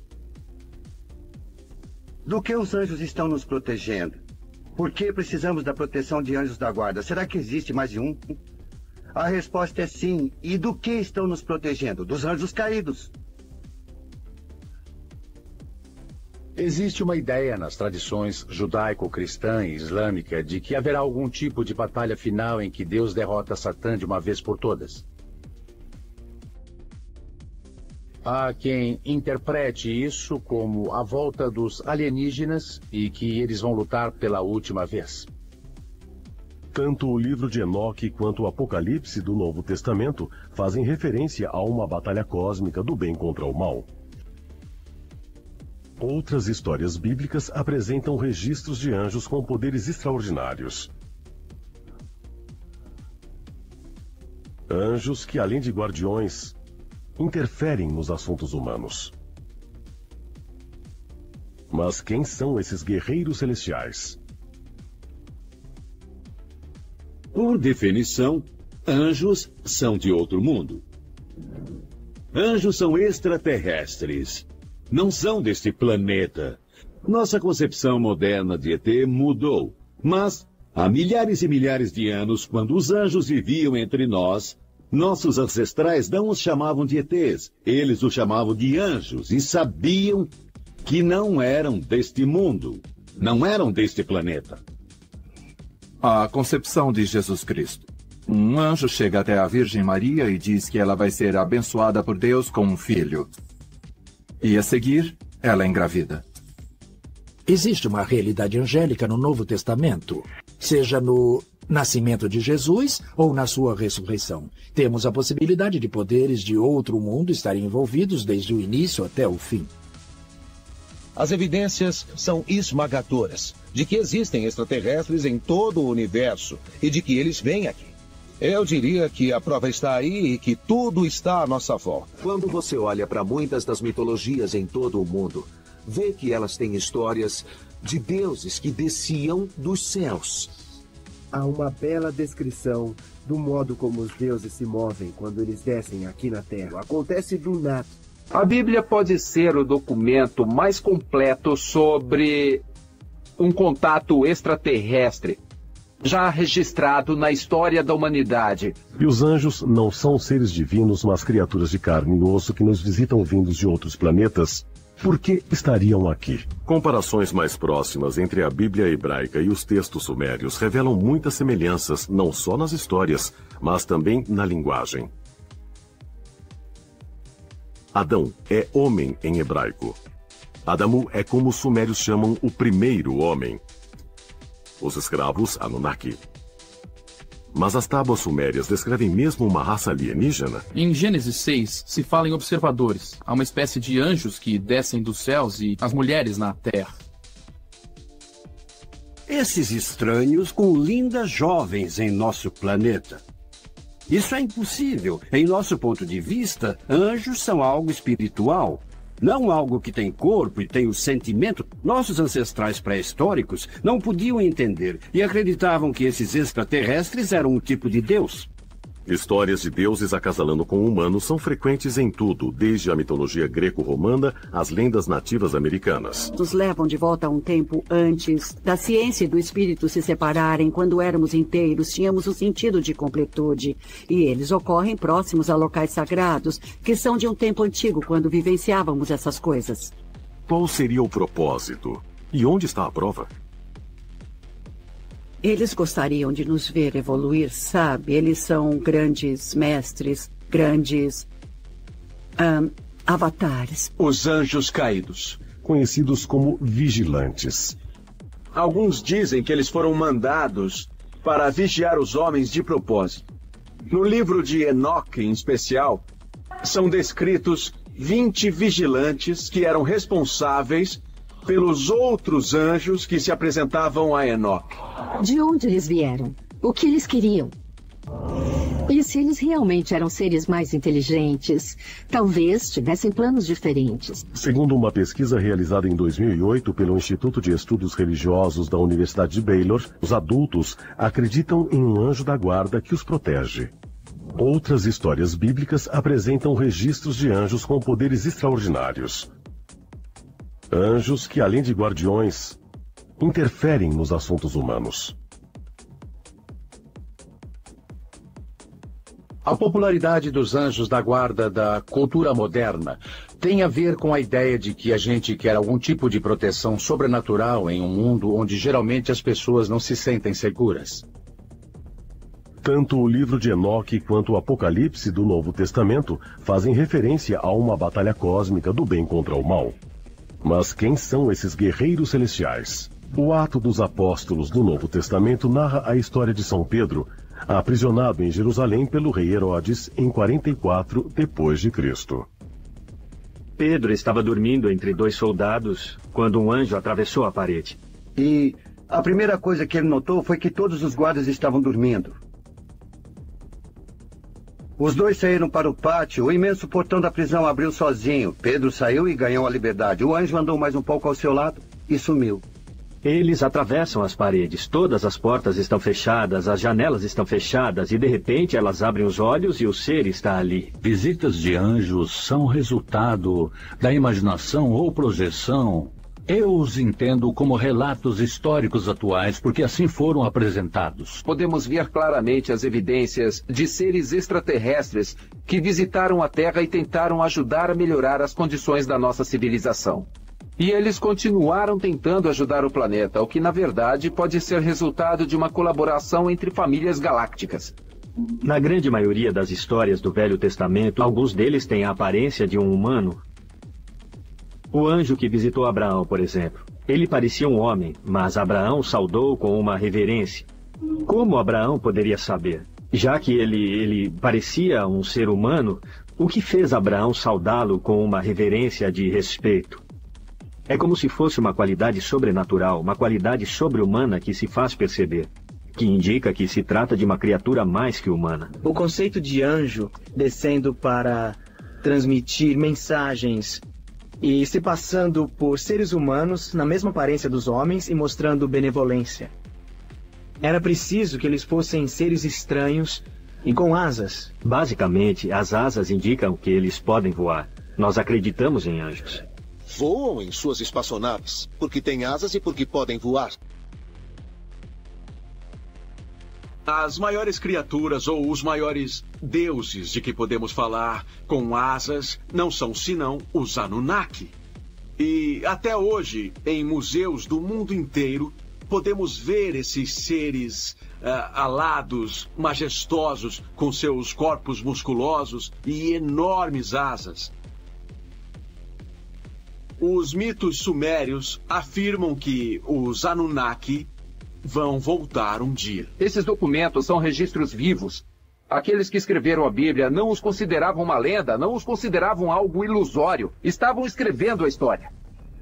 No livro do Gênesis, os anjos são descritos como seres divinos enviados à Terra como mensageiros de Deus. Havia o desejo de que Deus interagisse com os seres humanos, mas não parecia digno que Deus uh, agisse diretamente, então ele enviou seus mensageiros. Os extraterrestres queriam que, no futuro da humanidade, a gente começasse a enxergar as coisas. Queriam que a gente traduzisse esses livros e começasse a perceber que tem algo errado na Terra. E as perguntas começam a surgir. Será que já fomos visitados por extraterrestres?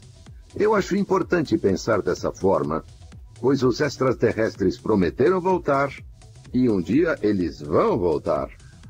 Se nós, humanos, finalmente estivermos perto de descobrir alguma verdade sobre o nosso relacionamento com outros seres inteligentes do universo, eu espero que ninguém pense nos alienígenas do passado, presente e futuro como assassinos ou como salvadores, mas como outro ser inteligente com quem vamos fazer amizade e aprender muita coisa sobre o cosmos.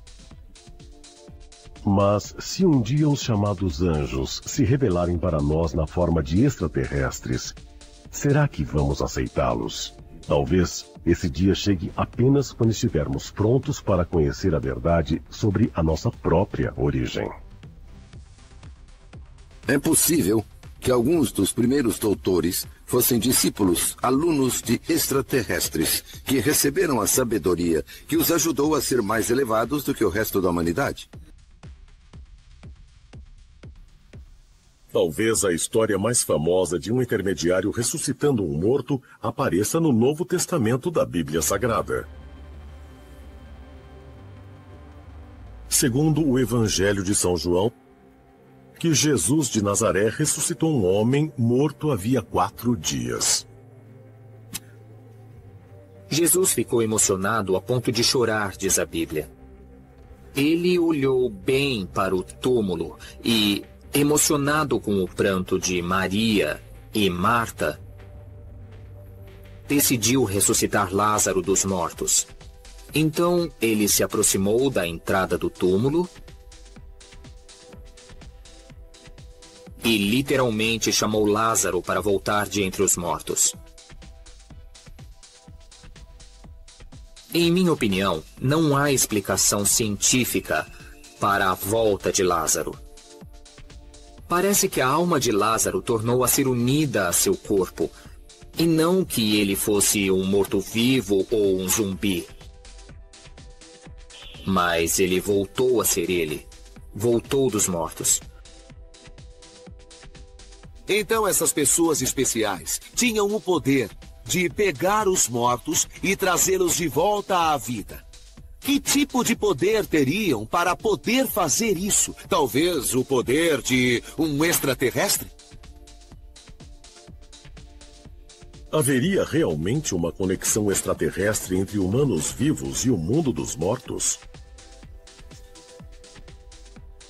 Será possível que almas humanas viajem pelo espaço e tempo, assim como fazem viajantes siderais? Se for assim, isso acaba com o conceito da existência de um paraíso? Ou seria a prova final que a humanidade procura há tantos séculos?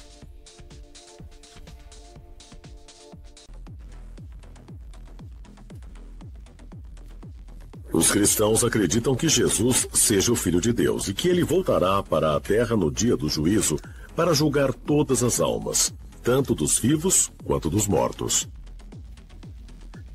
É também por isso que os cristãos acreditam que o corpo humano deva ser enterrado e não cremado após a morte. Mas poderiam os túmulos realmente se abrir um dia e os mortos ressuscitarem?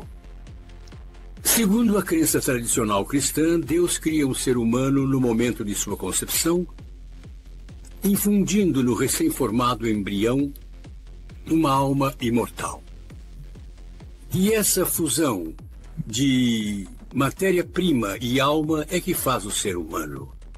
Por isso, no dia do juízo, tem de haver a ressurreição dos mortos para que os humanos sejam restaurados em sua unidade original de corpo e alma combinado.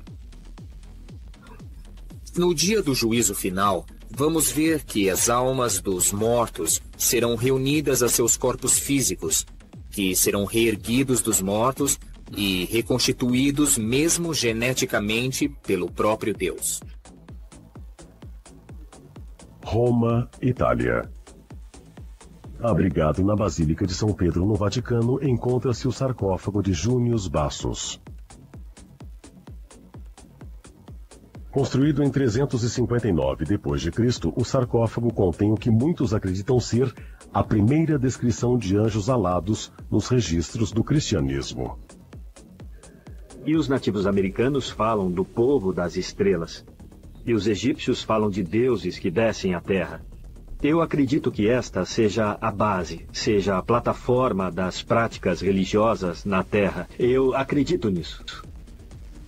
Acho que há mais do que um tipo de ser vindo para cá. Eu diria que há planos alienígenas no plural.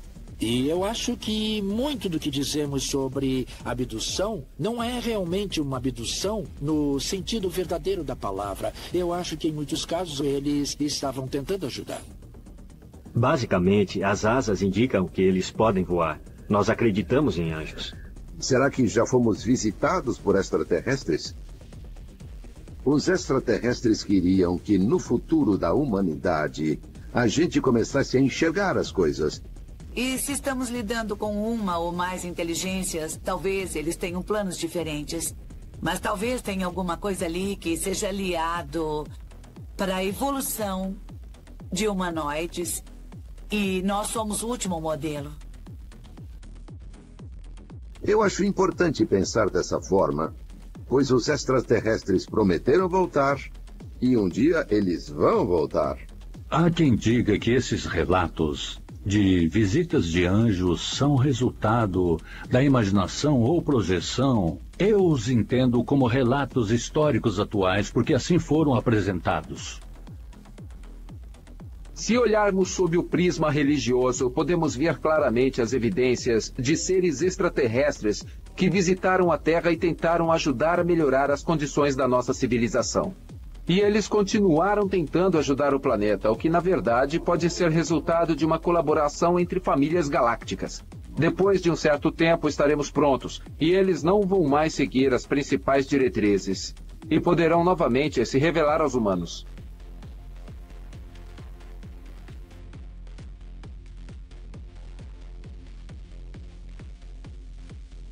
Mas sejam os anjos seres sobrenaturais ou extraterrestres, os artistas quase sempre os retratam com grandes asas, parecidas com as dos pássaros. E de onde vem essa descrição? De textos do passado? Ou de uma fonte mais misteriosa? Uma fonte que não vem do céu, mas de lugares a milhares de anos-luz da Terra. Se um dia os chamados anjos se revelarem para nós na forma de extraterrestres, será que vamos aceitá-los? Se nós, humanos, finalmente estivermos perto de descobrir alguma verdade sobre o nosso relacionamento com outros seres inteligentes do universo, com quem vamos fazer amizade e aprender muita coisa sobre o cosmos. Pode ser que os numerosos relatos de abduções, não só recentes, mas também do passado, realmente forneçam evidências de um plano extraterrestre. Um plano não só para se comunicar conosco, mas para que nós nos comuniquemos através deles. Se for assim, qual é a mensagem? Estamos sendo preparados para um futuro brilhante? E pode ser que essas chamadas abduções sejam um conjunto do nosso passado remoto? Um fato parece claro. Muitos acreditam que o contato está sendo feito. E o futuro da humanidade pode estar mais próximo do que pensamos. Cidade do Vaticano, maio de 2014. Em um sermão dedicado aos conceitos de inclusão, o Papa Francisco choca sua congregação quando declara que se formas e vidas alienígenas chegassem à Terra, seriam bem-vindas à Igreja Católica. Os comentários do pontífice surpreenderam o mundo, pois é a primeira vez que um Papa reconhece não só que existe vida extraterrestre, mas que poderia ser inteligente e capaz de viagens interplanetárias. O ato do Papa é um pequeno exemplo da grande mudança de atitudes com respeito à possibilidade de visitação. Autoridades religiosas em todo o mundo, líderes mundiais religiosos, estão tendo de encarar essa possibilidade, se não uma realidade desconhecida, da existência de seres extraterrenos. Seja uma crença secretamente mantida ou uma posição recentemente desenvolvida, organizações mundiais que têm por base a fé recentemente adotaram a opinião mais aberta e transparente de que vida inteligente além da Terra é possível. As declarações da Igreja Católica juntam-se às declarações do Dalai Lama, que recentemente discursou sobre a acessibilidade, a unidade e a similaridade de todas as criaturas, dizendo que não devemos tratar seres extraterrestres como estranhos, mas como seres parecidos conosco. Quando eles nos encontrarem, ou nós os encontrarmos, não precisará existir conflitos se nós não permitirmos que exista. A disposição das religiões mundiais de aceitar a ideia de visitas de seres extraterrestres não é nova, mas data de milhares de anos. Eles argumentam que a maioria das religiões, se não todas elas, tem por base a ideia de que não só existem seres de outros mundos, como seu propósito tem sido nos proporcionar desde iluminação espiritual até conhecimento científico. Em 1999, a NASA publicou um estudo chamado As Implicações Sociais da Astrobiologia. Esse estudo, em seu cerne, deveria avaliar o impacto do desfecho na religião. A NASA vê a religião como uma ferramenta adaptável que pode ajudar as pessoas no resultado de perguntas que a ciência não pode responder. Porque, em sua visão, a religião vem lidando com extraterrestres há muito tempo. Muitos são orientados a crer em seres de outros mundos.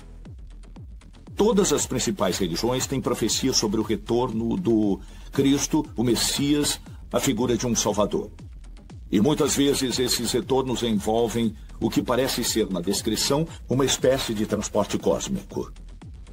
O Messias virá com um exército de anjos. E os anjos que conhecemos da definição bíblica certamente não são humanos, sob nenhum padrão. Sob os padrões de definição, eles são extraterrestres. O choque da presença de extraterrestres aqui há milhares de anos realmente mudará a sociedade. No final, todos no planeta Terra se darão conta de que não estamos sozinhos. Seria possível que o conceito religioso de um Messias, que retorna à Terra para a melhoria da humanidade, tenha tido por base uma mensagem dada aos nossos ancestrais por seres de outros mundos? E isso não é uma visita prometida, mas que já está ocorrendo. A ideia do anjo da guarda só existe porque nós desejamos? Nós acreditamos que alguém está nos protegendo ou é algo que vem do passado? Será que tem algo a ver com extraterrestres? Pode ser que algum alienígena tenha dito aos humanos: Vamos proteger vocês. Não tenham medo. Que haverá algum tipo de batalha final, como a volta dos alienígenas e que eles vão lutar pela última vez. Será que os extraterrestres podem ter as respostas finais para a vida, a morte e a ressurreição? E se for assim, será que a humanidade já possui esses segredos? De acordo com a Igreja Católica, é um mistério que os humanos não conseguem entender. Mas alguns acreditam que, em vez de uma transformação física, Jesus é ressuscitado metafisicamente durante a missa. E que Jesus era, e ainda é, um ser avançado que pode se mover de uma dimensão para outra. Como prova, eles citam o que Jesus disse aos seus seguidores sobre o poder de se reunirem em grupos para invocar o seu nome. Cristo disse: Onde dois ou mais estiverem reunidos em meu nome, eu estarei lá também. Conforme as crenças mais difundidas, o retorno de Deus seguirá uma série de eventos que incluem o Armagedon, a aniquilação de todas as criaturas, a ressurreição dos mortos e a volta de todas as almas a seus corpos físicos. Datando de 150 a.C., os pergaminhos do Mar Morto profetizavam que os filhos das trevas seriam destruídos. e que os filhos da luz viveriam em paz por toda a eternidade. E o conceito de um Deus onipotente que vai voltar no dia do julgamento também aparece em um dos assim chamados livros perdidos da Bíblia, o livro de Enoque. O livro de Enoque realmente descreve um evento de abdução fatídico. Um que aconteceu há milhares de anos atrás? E se sim, esse incrível contato imediato pode ter documentado uma comunicação com seres extraterrestres? O autor do livro, de acordo com o texto, é o patriarca judeu Enoque, o antepassado de Noé. Enoque é uma figura bíblica mencionada no livro do Gênesis, capítulo 5. O curioso sobre Enoque é que surgiu uma tradição de que ele nunca morreu. Isso porque, em Gênesis capítulo 5, versículo 24, o texto diz: Enoque caminhava com Deus e desapareceu, porque Deus o levou. Mas enquanto a Bíblia hebraica menciona Enoque apenas brevemente, o livro de Enoque, composto por mais de 100 capítulos, retrata minuciosamente a sua história. Nele, há uma passagem curiosa que detalha a ascensão de Enoque aos céus. De acordo com o livro de Enoque, ele diz que tinha 12 anos de idade. Toda a comunidade da sua vila queria ir dormir, mas aí eles ouviram um barulho no céu. Dois anjos desceram do céu. Um dos dois seres disse a Enoque, não tema, humano. Depois eles subiram para o chamado paraíso. E no livro de Enoque descobrimos que o próprio Enoque foi levado para os céus numa carruagem flamejante. Enoque sobe para o chamado céu. E lá ele vê uma coisa sobre a terra que não consegue descrever. Ele não conhece a palavra aeronave. Ele diz que pareciam casas de cristais. É descrito que ele vê o planeta Terra sob ele. Ele realmente descreve sua chegada. Como ele teve que andar por essas salas diferentes, onde ele vê joias, superfícies brilhantes e luzes piscantes. É um relato na primeira pessoa. Eu, Enoque, fiz isso. Eu, Enoque, vi aquilo. O livro de Enoque é um dos primeiros relatos de abdução escritos por um ser humano. Os livros que não entram na coleção da Bíblia, tanto da versão hebraica quanto do Novo Testamento, são os apócrifos. A palavra apócrifo significa coisas ocultas, e isso deve vir dos antigos, que esconderam esses textos do público porque podiam ser perigosos. Perigoso? É possível que o livro de Enoque tenha sido omitido porque expõe verdades sobre a história humana que eram consideradas muito arriscadas para o conhecimento público, e certa passagem no Antigo Testamento contém algumas informações. Sabemos pelo livro de Daniel, capítulo 4, que é um grupo de entidades angelicais, cuja função, cujo papel é, como é ordenado por Deus, tratar dos assuntos da humanidade. Essas forças angelicais velam nosso mundo e controlam o rumo da civilização. Apesar dessa passagem ser breve, esses seres servem como o foco primário do livro de Enoque, onde eles são descritos como vigias divinos conhecidos como os observadores. Na versão inglesa, Enoque os chama de guardiões do céu ou observadores do céu. Na versão alemã, eles são chamados de anjos. Não, era uma outra época. Agora os tempos são outros. Agora devemos traduzir com novas palavras. Trocar a palavra anjo, jogar fora e chamar de extraterrestre. Esses anjos não eram seres espirituais, eles eram seres físicos. Isso é algo muito claro sobre a identidade dos anjos bíblicos. Eles não são desse mundo e, portanto, não são terrestres. E, portanto, eles são extraterrestres. De acordo com o livro de Enoque, um total de 200 observadores descem dos céus à Terra. Enoque nos dá alguns nomes, mas sabemos que eles são comandados por Samiasa e Azazel. Azazel foi posteriormente conhecido como Lúcifer. Os observadores tiveram uma aparição muito brilhante e um de seus nomes era Os Iluminados. E mesmo Enoque, quando escreveu sobre eles, disse que ele mal conseguia olhar para eles de tão brilhantes que eram. A ideia de que os observadores eram visitantes alienígenas é mais contundente devido às histórias do profeta Elias. Além de Enoque, teve outra figura da Bíblia que ascendeu ao paraíso em carruagens de fogo, seja lá o que isso significa. E esse, é claro, é o famoso profeta Elias. Elias foi um profeta muito poderoso, que tinha habilidades extraordinárias comparado aos outros profetas. Elias possuía uma vestimenta poderosa que dava a ele a habilidade de curar os doentes e de ressuscitar os mortos.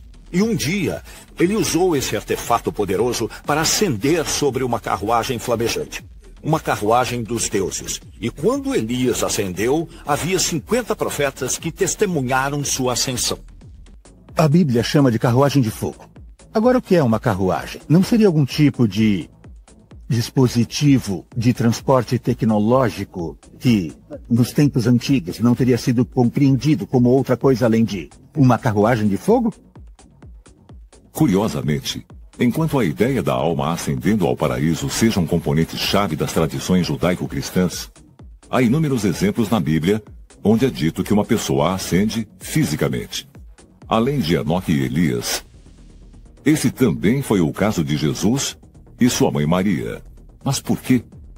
Se o paraíso é um reino espiritual, por que está escrito que certos indivíduos ascendem fisicamente? E dizem que há evidências adicionais também em outra história de um profeta do Velho Testamento. Alguém que deu aviso sinistro sobre o futuro e descreveu seres extraterrestres que desceram do céu, durante os quais ele recebeu avisos proféticos de secas e cataclismos. Ele alertou sobre uma seca devastadora para Israel, que causaria muita fome. E também, o que é interessante, Nunca se soube que ele tivesse morrido. Acredita-se que de algum modo ele foi levado para o espaço e vive pela eternidade. No encontro final com Deus, descrito no segundo livro dos Reis, o profeta é levado ao céu em um turbilhão, no que a Bíblia hebraica descreve como uma carruagem de fogo puxada por cavalos. A experiência detalha um objeto giratório ou um raio giratório que o levou para o objeto. Viram um redemoinho ir para cima dele e uma carruagem de fogo. A pergunta é: o que era giratório? A carruagem de fogo ou o raio que desceu e o levou para cima? Para os crentes, esse evento extraordinário é um milagre religioso. O que muita gente não percebe é que a primeira coisa que vemos não é a que diz que ele foi levado para cima por cavalos, mas sim por uma carruagem de fogo, inicialmente descrita como uma fornalha em fogo. Mas o que é uma fornalha em fogo? O fogo poderia ser de alguma máquina. Ele foi levado por um turbilhão, sabe? É só olhar, por exemplo, a decolagem do ônibus espacial. Existe todo um estrondo, um turbilhão de fogo de foguetes, etc. Colocado em contexto, fica fácil enquadrar o evento na categoria OVNI. Uma nave básica, uma carruagem de fogo, vê uma embarcação.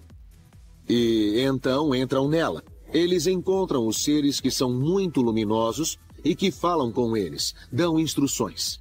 Ajuda extraterrestre é mandada para a Terra para ajudar a humanidade a fazer a vontade de Deus. Teria sido Elias um homem escolhido por seres extraterrestres para ajudar a corrigir o curso da humanidade? E se for assim, essa ajuda explicaria outros eventos bíblicos, mais incríveis ainda, entre Deus e a humanidade. Pesquisadores especulam que o alinhamento galáctico pode mudar ou mesmo reverter a forma como a Terra gira sobre seu eixo, alterando o seu campo magnético. Um sinal do campo magnético mudando rapidamente significaria algo que tem que acontecer de forma dramática para o momento angular da matéria no interior da Terra, o que também pode significar que algo acontece drasticamente na rotação da Terra. E uma vez que você altera a rotação da Terra, você tem uma enorme chance de causar efeitos enormes. É como ter um monte de terremotos ao mesmo tempo. Poderia cobrir a Terra com o mar ou o mar com a Terra? Estamos falando de eventos que nunca experimentamos antes. Então, algumas dessas mudanças que as pessoas estão falando que poderiam ocorrer na Terra poderiam ser mudanças de vida ou poderiam ser o fim da vida. Poderia a Terra realmente ser afetada por algum estranho, poderoso alinhamento dos astros? Aquele que terá profundas consequências para todos nós? E se assim for, poderiam essas consequências vir na forma de morte e destruição? Ou poderia haver outro resultado, talvez mais positivo? É difícil saber o futuro.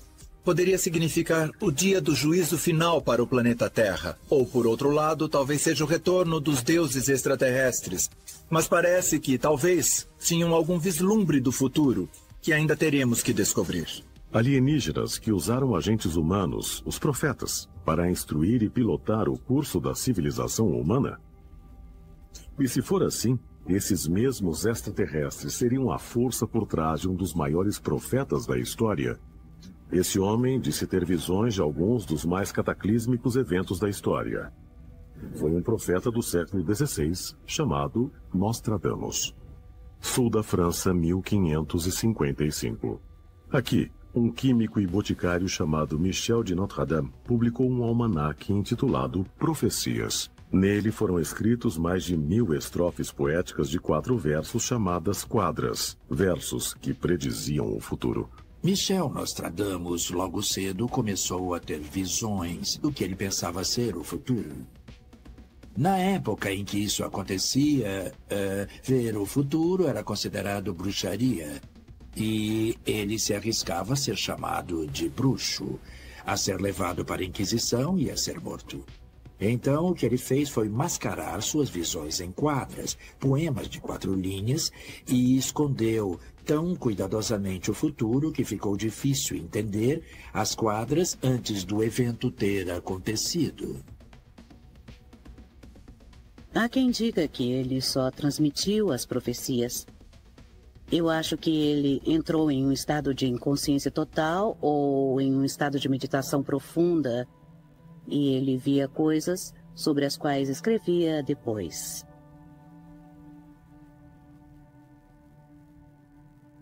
Séculos depois da morte dele, acreditaram a Nostradamus o fato dele ter predito tudo. Mas talvez o maior enigma a resolver no caso de Nostradamus seja que ninguém sabe de onde vinha a força de seus misteriosos poderes de predição. Terá ele recebido informações futurísticas de algum poder espiritual maior, como era o oráculo de Delfos? Ou teria ele obtido o misterioso conhecimento de alguma outra origem extraterrestre? Sabemos que ele podia, de alguma maneira, treinar seu cérebro para fazer contato com alguma coisa externa. A ciência vai tentar dar a isso vários nomes: energia de ponto zero, campo de ponto neutro, outra dimensão, seja lá o que for. Alguns pesquisadores creem que qualquer coisa e qualquer um pode se conectar à energia de ponto zero, onde se acumula uma coleção de cargas elétricas com cada pensamento, ação e evento do passado, do presente ou do futuro. Acredita-se que a energia de ponto zero contém tudo o que já foi pensado, qualquer comportamento, qualquer ação, qualquer coisa que envolva energia. Tudo foi jogado ali e continua ali, e ali estão contidas todas as informações durante o tempo inteiro em que estivemos aqui. O conceito de energia de ponto zero tem base na teoria de que o universo ocupa mais do que simplesmente as três dimensões de altura, largura e profundidade. Esse conceito evoluído se chama teoria das cordas. Na teoria das cordas, há tipicamente 11 dimensões a considerar. São chamadas muito pequenas, ou enroladas, ou compactas. Então, se essas dimensões forem por demais pequenas, curvadas e compactas, não poderemos ter experiência delas e nem saberemos que existem.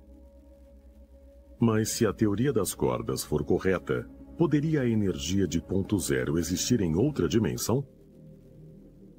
Uma dimensão não detectada pelo homem. Dezenas de culturas antigas descreveram a existência de um poço cósmico de conhecimento, mas só pessoas com certas habilidades poderiam acessá-lo. Os hindus chamam o poço de anais akáshicos.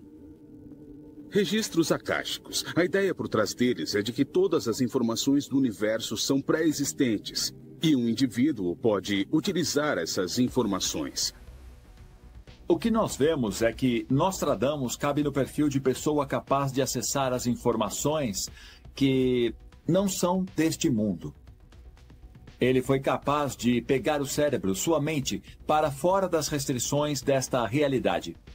E, quando chegou lá, ele pôde pegar informações que trouxe de volta para nós. E, no caso dele, escreveu tudo, para que pudéssemos mais tarde ter acesso. Os profetas antigos foram mesmo capazes de acessar incríveis informações de uma dimensão escondida? Ou por seres extraterrestres? E se for assim, haveria ainda profetas hoje? Homens e mulheres em contato com outras forças, talvez de outro mundo,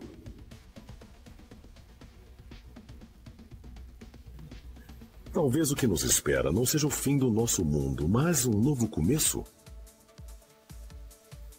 Um que vai revelar as origens celestiais do homem. De fato, Jesus disse: A casa do meu pai tem muitas moradas. E se isso for apenas uma metáfora que sugere que as casas do universo são um conjunto de espécies diferentes, que o universo é fértil em vida e todos pertencemos a isso? Eu cresci ouvindo a minha avó falando sobre alienígenas, sobre Atlântida e todos esses pontos de vista alternativos da história. Essa era a conversa na hora do jantar na minha casa. Isso significa que a criação é ainda mais magnífica do que nos disseram. Porque o divino está permeado através de todo o universo, não só no planeta Terra. Eu acho que é possível que alienígenas antigos tenham visitado o nosso planeta, porque para nós céticos tudo mudou. Por exemplo, nos últimos 12 anos nós olhamos o pequeno caminho do nosso sistema galáctico e até agora encontramos 3 mil planetas. Quando extrapolamos essa possibilidade por todo o sistema galáctico, é estimado que deva haver bilhões de planetas só em nossa galáxia. Então as chances de encontrar vida são extremamente altas. Mas tenho que dizer uma coisa. Se nós podemos ir até lá, por que eles não podem vir até aqui? Precisamos estar abertos para essa possibilidade que a vida neste planeta foi ligada a seres extraterrestres. Será que extraterrestres realmente têm vindo à Terra e abduzido grandes grupos de pessoas ao longo da história? E se for assim, será que extraterrestres estão conduzindo experimentos para melhorar a raça humana preparando-nos para sermos parte de uma comunidade intergaláctica. Um dia, seremos reunidos a nossos ancestrais alienígenas. Mas talvez, para alguns de nós, essa reunião já tenha acontecido. 27 de abril de 2020. Washington, D.C. O Pentágono autoriza o lançamento oficial de todos os três vídeos do AATIP previamente vazados junto com a entrega da confirmação oficial de que são evidências autênticas que documentam encontros entre militares da Marinha Americana e fenômenos aéreos não identificados. Essa divulgação sem precedentes atrai a atenção da mídia em todo o mundo.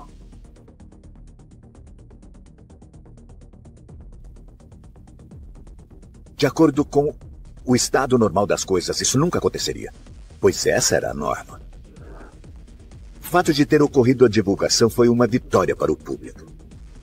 Antes disso, alegavam que se tratava de farsa. Embora esses vídeos estivessem disponíveis, nunca foram oficialmente reconhecidos. Na verdade, são objetos desconhecidos que nossos pilotos encontraram. Não temos uma explicação convencional para isso. Antes, quando você conversava com um outro físico sobre discos voadores e OVNIs, os olhos deles simplesmente rolavam para o céu e balançavam a cabeça. Os cientistas agora estão abertos à ideia de que talvez haja alguma justificativa para esses avistamentos. Por causa desse oceano de dados vindos dos militares dos Estados Unidos, o ônus da prova mudou. O que vimos com essas revelações é que elas não vêm de denúncias, nem vêm de pesquisadores de OVNIs. Estão vindo do governo. De acordo com os pesquisadores de OVNIs, a quantidade de divulgação governamental sobre OVNIs tem aumentado desde que foi revelado em 2017. Mas depois de anos de sigilo. Por que o governo está escolhendo ser mais aberto agora? Eu tenho pensado e escrito sobre a divulgação de OVNIs por muito tempo e quando você olha para as coisas que aconteceram nos últimos anos, começando em 2017, então ganhando velocidade, você sabe, as pessoas tendem a perguntar: isso é alguma forma de implementação, de divulgação pelo governo? Esse é um dos momentos mais emocionantes da história do mistério OVNI. Eu nunca vi nada desse tipo. Não apenas aumentamos a frequência reconhecida de encontros de OVNIs com nossos militares, mas principalmente temos indivíduos avançando, indivíduos de alto escalão avançando e contando pequenas coisas sobre o que podem e o que querem saber sobre o que eu chamo de problema dos OVNIs. Eu acredito que sempre houve facções dentro da estrutura de comando do Pentágono que favoreceram isso. O Pentágono, como qualquer outra burocracia labiríntica maciça, tem muitos tipos de facções. Portanto, sempre houve aqueles que exigem sigilo sobre todas as questões, incluindo OVNIs, e outros que não concordam com essa política. Acho que o que está acontecendo com os OVNIs é que agora temos a web, temos comunicação instantânea e pessoas que têm o poder de perceber que esse segredo não é para sempre. O povo americano e as pessoas do mundo têm o direito de saber. Os OVNIs são tão reais quanto os aviões voando no céu. Estão ocorrendo audiências, e isso confirma que o público realmente tem um interesse contínuo nisso, um interesse profundo e permanente. Ele confirmou que o nosso governo tem um interesse contínuo no assunto, apenas não tem compartilhado. E sugere que precisamos saber mais. Quando você tem um estado de negação sobre algo tão importante ano após ano e não consegue obter acesso às informações sobre isso, e você, como público informado, não pode tomar uma decisão, então você não está informado. Nós temos um sistema que está saindo dos trilhos aqui. Temos que acreditar em nós mesmos em algum momento. Acreditar em nossa capacidade de lidar com isso. Caso contrário, o que somos? Crianças por toda a vida, alimentados com absurdos? O que você sabe sobre OVNIs? Informe. De fato, nos informe, para que se torne público. Não para que tudo seja retratado agora. Isso vai abrir os livros sobre OVNIs de todas as agências de inteligência do planeta Terra? Não, isso não está acontecendo. Não há motivação para fazer isso. Mas vamos aprender alguma coisa? Sim, claro que vamos aprender. Enquanto pesquisadores e jornalistas de OVNIs assumem a posição de que a divulgação total do governo do que se sabe sobre os OVNIs é de grande interesse público, alguns especialistas insistem que ainda existem razões válidas para proceder com cautela. Em 16 de dezembro de 2017, o New York Times publicou uma história bombástica intitulada Auras Brilhantes e Mercado Negro o misterioso programa de OVNIs do Pentágono. Foi a primeira vez que o público norte-americano ficou sabendo do projeto ultra secreto do governo dos Estados Unidos. Programa avançado de identificação de ameaças aeroespaciais as revelações a respeito da existência do programa do Pentágono são extraordinárias. É a maior notícia que já tivemos em toda a história do fenômeno OVNI. É a prova cabal, como uma aeronave no hangar, é o mais perto que pudemos chegar. O artigo informou que o programa esteve em operação de 2007 a 2012 e era administrado pelo ex-funcionário do Pentágono de nome Luiz Elizondo, um oficial sênior da inteligência com autorização a documentos ultra-secretos. O trabalho de Elizondo era investigar relatórios de objetos voadores não identificados e mensurar o grau de ameaça que eles poderiam representar a segurança nacional. Mas embora o financiamento tenha terminado oficialmente em 2012, Elizondo afirma que ele continuou trabalhando no programa fora do seu escritório no Pentágono durante os cinco anos seguintes. E com a ajuda de funcionários da Marinha dos Estados Unidos e da CIA. Em outubro de 2017, Elizondo protestou contra o que ele chamou de segredo excessivo e oposição interna. E está claro que não existe motivo para acreditar que o Pentágono tem qualquer intenção de desclassificar e publicar mais materiais. Então ele fez o trabalho importantíssimo de desvelar esta história e mostrar para todos. Quando saiu do Pentágono, Elizondo estava determinado a divulgar os anos de investigação para o público. Ele fez isso ao ajudar a disponibilizar três vídeos para a imprensa, que foram divulgados ao mesmo tempo que a matéria sensacional de capa do New York Times. Olha essa coisa, cara. Gravados por câmeras instaladas nos aviões da Marinha, os vídeos eram talvez os mais espetaculares e convincentes sobre OVNIs já divulgados para o público. Uma das coisas mais interessantes é quantas informações não foram divulgadas. Ficamos sabendo de algumas coisas. Aposto que existe muito mais. Em junho de 2020, o governo reconheceu o que Luiz Elizondo dizia fazia anos. Que as investigações de OVNI seguiram sem interrupção, mas com um novo nome. A Força Tarefa de Fenômenos Aéreos Não Identificados. Na opinião dos teóricos, essa revelação recente apenas confirma suas suspeitas de que o governo continua a ocultar a extensão total das investigações de OVNIs e que revelações muito mais incríveis ainda surgirão. Durante anos, funcionários do governo negaram rumores de uma instalação militar ultrasecreta no deserto de Nevada. Mas em 2013, um dos acobertamentos mais significantes da história norte-americana foi finalmente revelado. Em nono lugar, na minha lista, Área 51. Depois de décadas de sigilo, negacionismo e acobertamentos, a CIA desclassificou documentos que reconhecem a existência de uma instalação de pesquisa militar ultrasecreta conhecida como Área 51. Foi, de fato, um anúncio histórico. Finalmente, todos esses anos de rumores de que a comunidade ufológica afirmavam ser verdadeiros foram confirmados. O governo federal foi obrigado a admitir a existência da base aérea 51 por causa de um pedido da Lei de Liberdade de Informação. Demorou mais de uma década para chegar à resposta, mas no fim tiveram que admitir o que todo mundo já sabia, que a Área 51 de fato existia. Podemos imaginar que a vida na Terra começou em Marte, então, de certo modo, somos todos marcianos ou descendentes. A vida na Terra semeada por Marte? Podemos de fato ser marcianos, direcionado e orquestrado por humanoides que existiram no planeta vermelho, encontrados nos textos apócrifos da Bíblia hebraica, representados como anjos caídos. Podemos reinterpretar a história dos anjos caídos como seres não do paraíso, mas de Marte? Sabemos de lendas antigas, uh, por meio dos livros de Enoch, que havia um grupo de anjos que desceram até a Terra, violando a lei divina.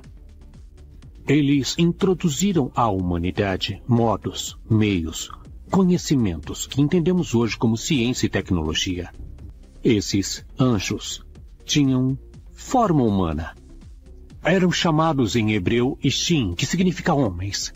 A aparência deles era igual à nossa. Os anjos caídos eram gigantes. Tinham pelo menos três metros de altura e eram muito impressionantes. Por mais de 100 anos, mitologistas têm considerado a ideia de que os anjos caídos vieram de Marte para a Terra. Mesmo Dante descreveu isso em seu Paradiso. Chamou isso do quinto nível do paraíso. É possível que os anjos caídos vieram para a Terra de Marte? E, portanto, a questão de se descendemos dos macacos e das outras criaturas neste planeta, ou se realmente fomos criados e uma intervenção alienígena ocorreu e somos o resultado dela.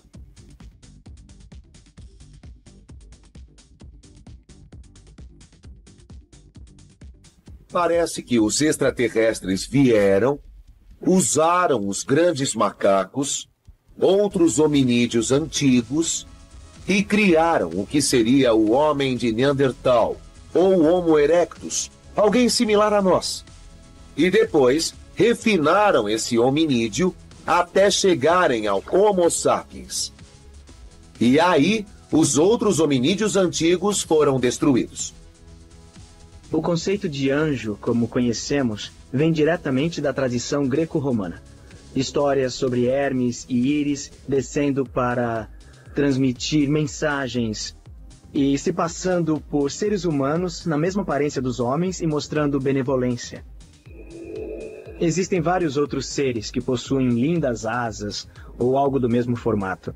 Mas esses seres, seja lá do que forem feitos, são uma maneira de nos dizer que temos uma certa dificuldade em entender o que nos separa deles e dos deuses. Era preciso que eles fossem seres estranhos e com asas. Os anjos aparecem em várias culturas como uma tecnologia erroneamente identificada. Se eles vissem alguém voando, seja um ser humano ou um humanoide, seria normal atribuir asas a este ser. Mas, na verdade, era um jeito do homem do passado de dizer que eles podiam voar. Pesquisadores também concluíram que os anjos, se comparados aos humanos, seriam pesados demais para voar. Nós não temos aerodinâmica para voar. E somos muito pesados. Ah, temos ossos pesados, músculos sólidos. E isso impediria um humanoide de voar. Mas se é impossível para um anjo ter asas, como ele consegue descer à terra e subir aos céus?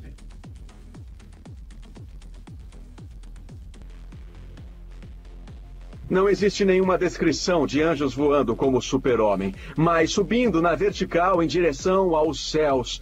E da mesma forma, eles também desciam na vertical. Como isso era possível? Em 1953, a Bell Aerosystems desenvolveu o cinto foguete, o precursor do jetpack, vendido atualmente. Projetado para levantar uma pessoa verticalmente no ar e fazê-la deslizar em um voo livre, o jetpack atinge 2.500 metros de altura e uma velocidade de até 20 km por hora.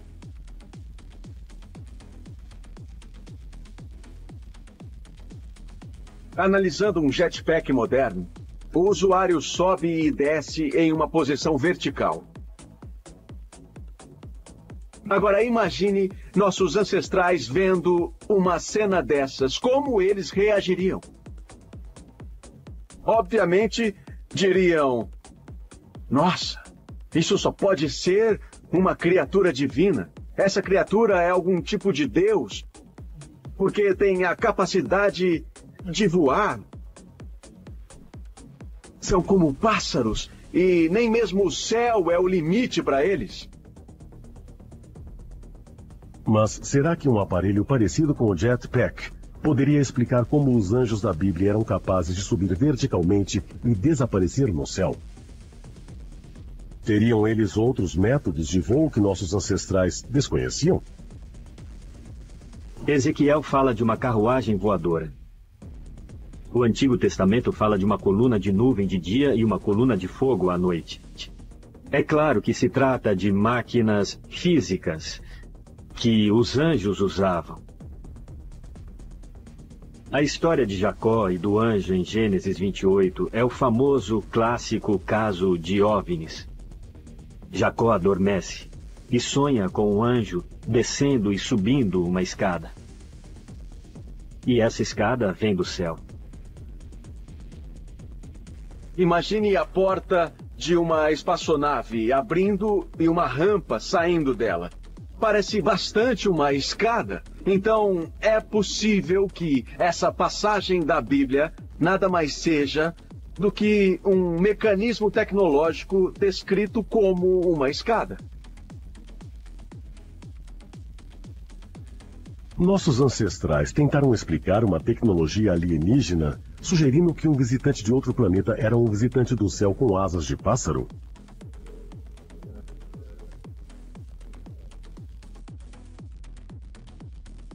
Se a resposta for sim, as implicações são profundas e potencialmente perturbadoras.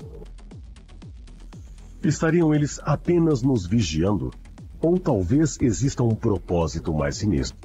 Pois, se anjos forem mesmo visitantes de outros planetas, qual é sua missão? O livro do Gênesis da Bíblia fala de como algo que não era humano, talvez angelical, talvez extraterrestre, viu as lindas virgens dos humanos fazendo híbridos e disso surgiram os híbridos conhecidos como os gigantes Nephilims. Alguma outra coisa com grande inteligência deve tê-los feito para que viessem trabalhar neste planeta.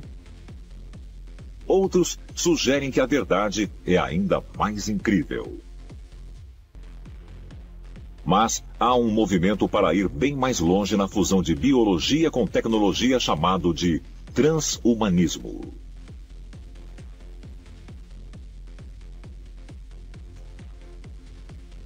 8 de fevereiro de 1957. Washington, Distrito de Colômbia. No hospital Walter Reed, o cientista húngaro Jonathan Neumann, o homem que teve a ideia de robôs autorreplicantes, morria aos 53 anos de idade. No momento da morte, ele trabalhava em um manuscrito intitulado O Computador e o Cérebro. Com apenas 82 páginas, o texto não estava concluído. Mas alguns sugeriram que von Neumann explorava a possibilidade de reproduzir inteiramente a mente humana em um computador. Para os transhumanistas, isso abre a porta para o que muitos consideram uma das inovações mais radicais: a transferência mental. As empresas já fizeram o que chamamos de interfaces neurais, em que ligaram computadores nos cérebros das pessoas através de cabos. Acreditam que podem mapear todo o cérebro humano e todos os dados armazenados nele para poderem transferir a um sistema inteligente artificial à base de silício, onde então poderia ser armazenado e nunca morreria. O conceito de que formas de vida extraterrestre possam ter vindo para a Terra primeiro como máquinas ou robôs não é apenas provável, mas lógico e pode até ajudar a explicar uma série de encontros com extraterrestres que têm sido relatados até recentemente no século XX. Encontros com os visitantes robôs que antes poderiam ser chamados de Greys.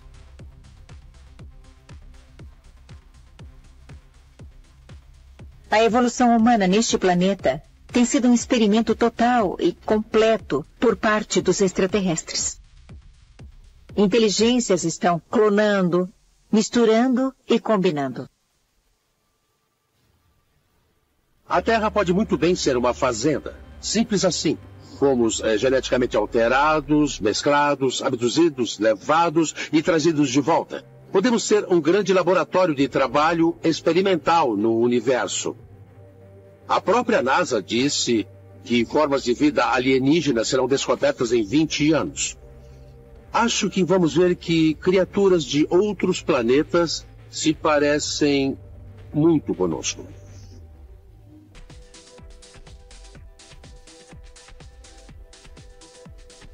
Cidade de Guanhan, China, 1986.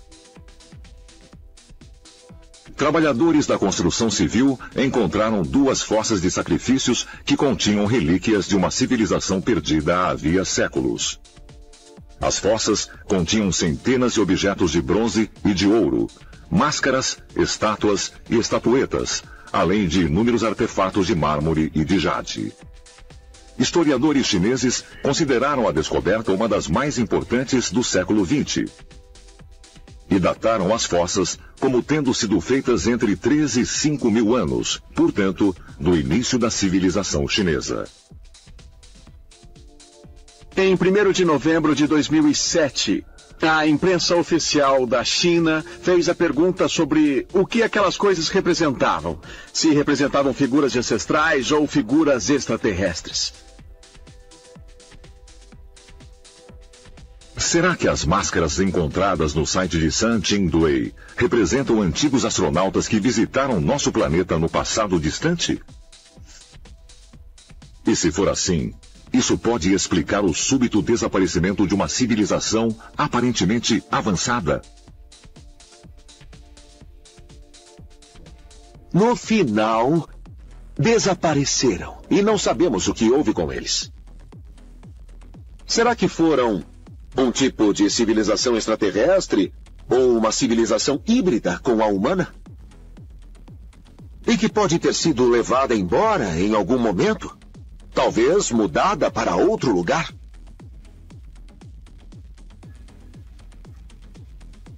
A sudeste do Oceano Pacífico, Rapa Nui, ou Ilha de Páscoa, como se tornou conhecida, é um dos lugares mais isolados do planeta. A mais próxima ilha habitada fica a 1.800 quilômetros a leste, e a terra continental mais próxima, o Chile, está a 3.200 quilômetros. Espalhadas em todo o perímetro da ilha, a maioria de costas para o mar, há cerca de 300 figuras de pedra conhecidas como moais. A maioria tem entre 4 metros e meio e 6 metros de altura. Mas a maior tem mais de 21 metros. E a mais pesada, mais de 165 toneladas. Quem fez essa gente fazer um esforço tão grande para fazer as estátuas gigantes? Ninguém na Polinésia fez isso.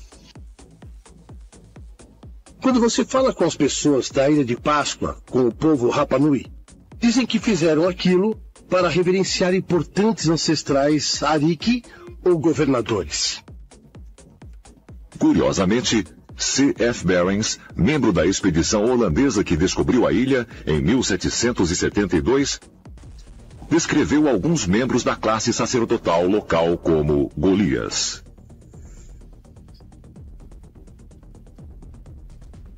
C.F. Barings reportou ter visto gigantes. Disse que alguém tinha ido até o barco dele e que media mais de 4 metros. Ele deu muita importância aos gigantes que viu na ilha. Quando os primeiros exploradores chegaram à Ilha de Páscoa, encontraram dois tipos de pessoas: gente de orelhas curtas e de orelhas longas. E quem tinha orelhas longas era descrito como gigante. E eram de uma raça diferente dos de orelhas curtas. Essa raça tinha longas orelhas e lóbulos. E eram de classe sacerdotal. Eles dirigiam a criação e a movimentação das estátuas pela ilha. Francis Mazier, um etnólogo francês que fez uma pesquisa na ilha em 1963, registrou lendas locais de que os primeiros homens a habitar a ilha tinham enorme estatura.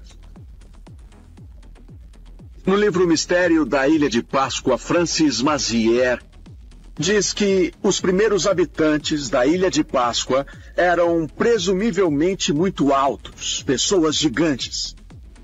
A ilha chegou a ter 15 mil habitantes antes de ser descoberta.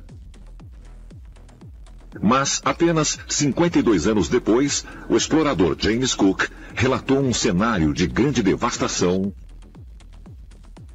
em que quase todos os moais foram tombados e só restaram 700 habitantes na ilha. Parece que alguma coisa aconteceu na Ilha de Páscoa que diminuiu a população drasticamente. E parece que muita gente morreu ou foi embora. Algo deve realmente ter acontecido. Arqueólogos acharam moais inacabados em uma pedreira. E ferramentas espalhadas no entorno como se o trabalho tivesse sido abandonado de repente. Não sabemos por que teriam parado o trabalho, nem o que aconteceu exatamente com a classe sacerdotal de gigantes, que supervisionava todo o trabalho. De repente, essa gente desapareceu e o trabalho parou. A explicação recorrente sobre a Ilha de Páscoa é que aquilo era um experimento genético em que não humanos usavam ilhas, ou montanhas, ou penínsulas, para que não houvesse interferências, para que nada contaminasse seu experimento. Talvez por isso todos foram transferidos.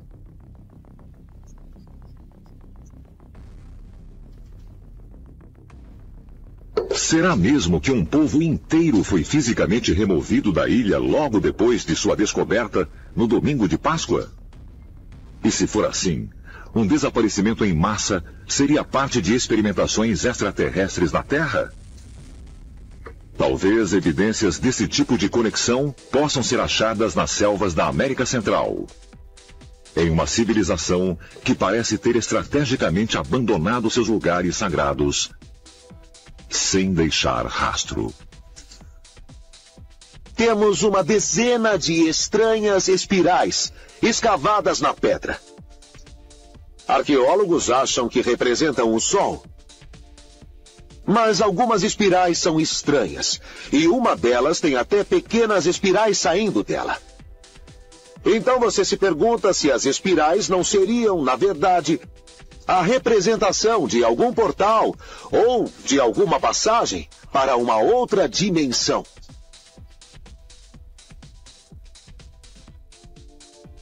Há quem creia que elas representam portais para o ponto de origem deles. Acho que, no mínimo, existe a possibilidade de haver uma ligação entre o alinhamento de certos eventos celestes e a abertura e fechamento desses portais. Será possível que os próprios Anasazi desapareceram em massa deste local e foram para outra dimensão?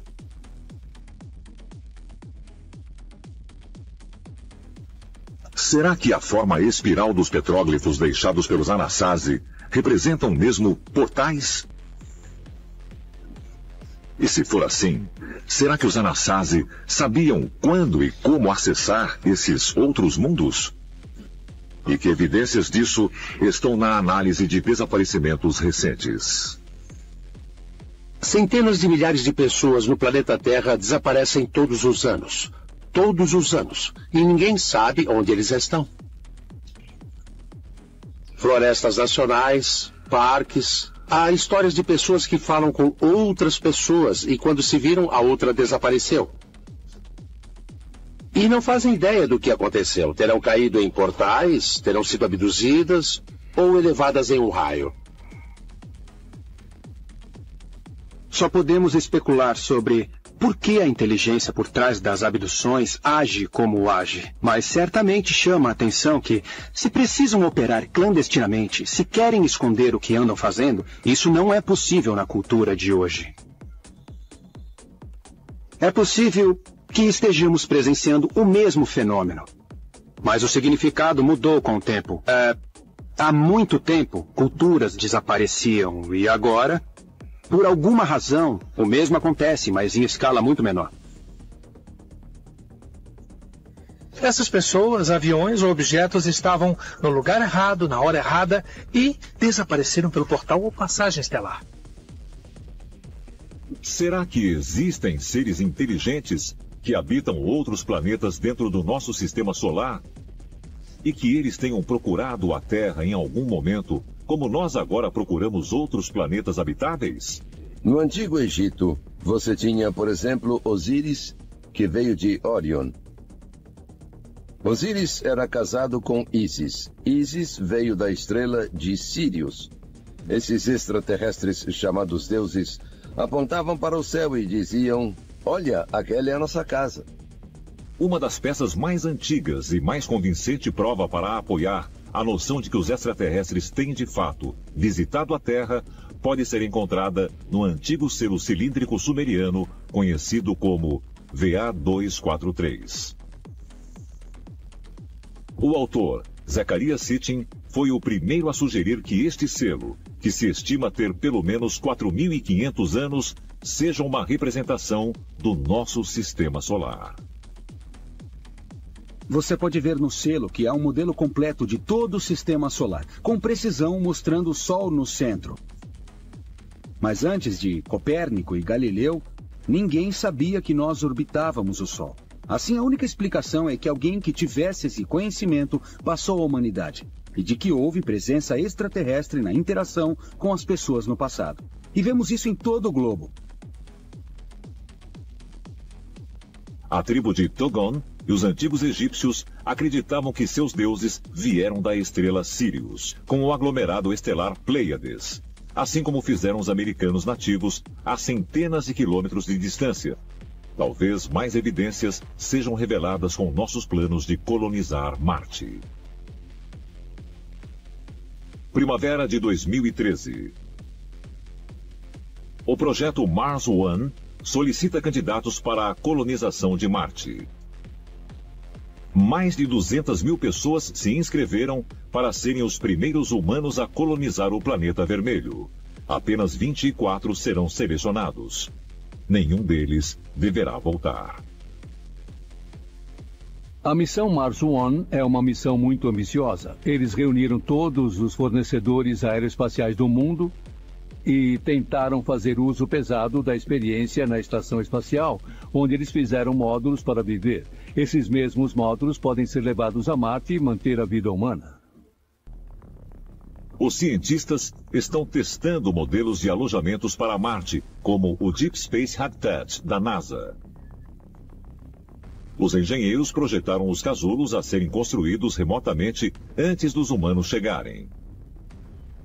Uma vez construídos, os habitats fornecerão oxigênio e água e minimizarão os efeitos nocivos da radiação atmosférica para os seres humanos. Mesmo essas façanhas de engenharia não vão permitir que os seres humanos vivam em Marte por longos períodos de tempo. Temos tentado experiências de como criar um ambiente de sobrevivência em um casulo e parece ser muito difícil conseguir para um período de tempo muito longo. E se queremos habitação a longo prazo em Marte e a colonização de Marte, pessoalmente eu voto em terraformação.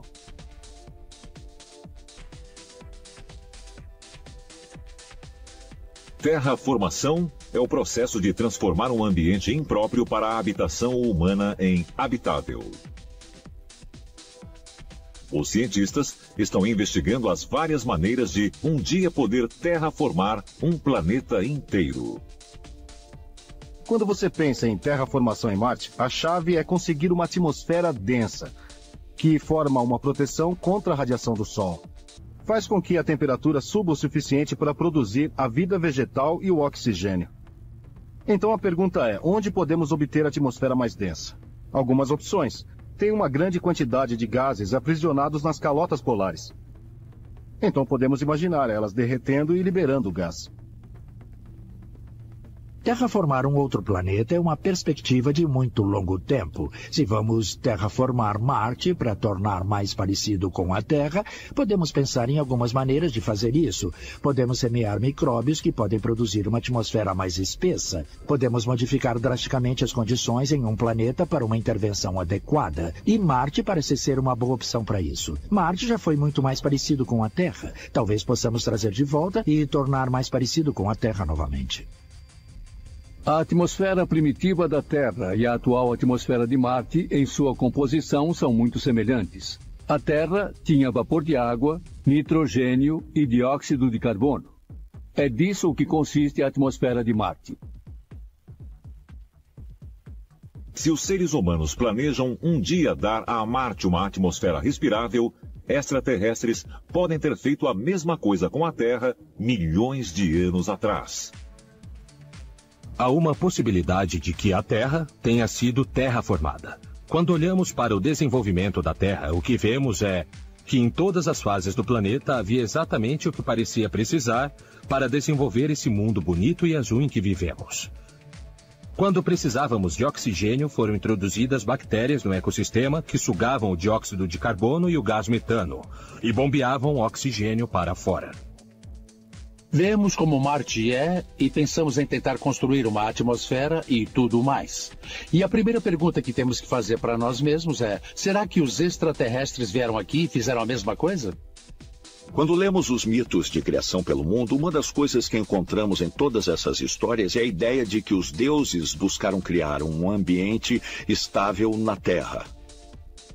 A história do Gênesis pode ser vista como um guia passo a passo da terraformação da Terra. No primeiro dia, Deus e os deuses criaram o universo.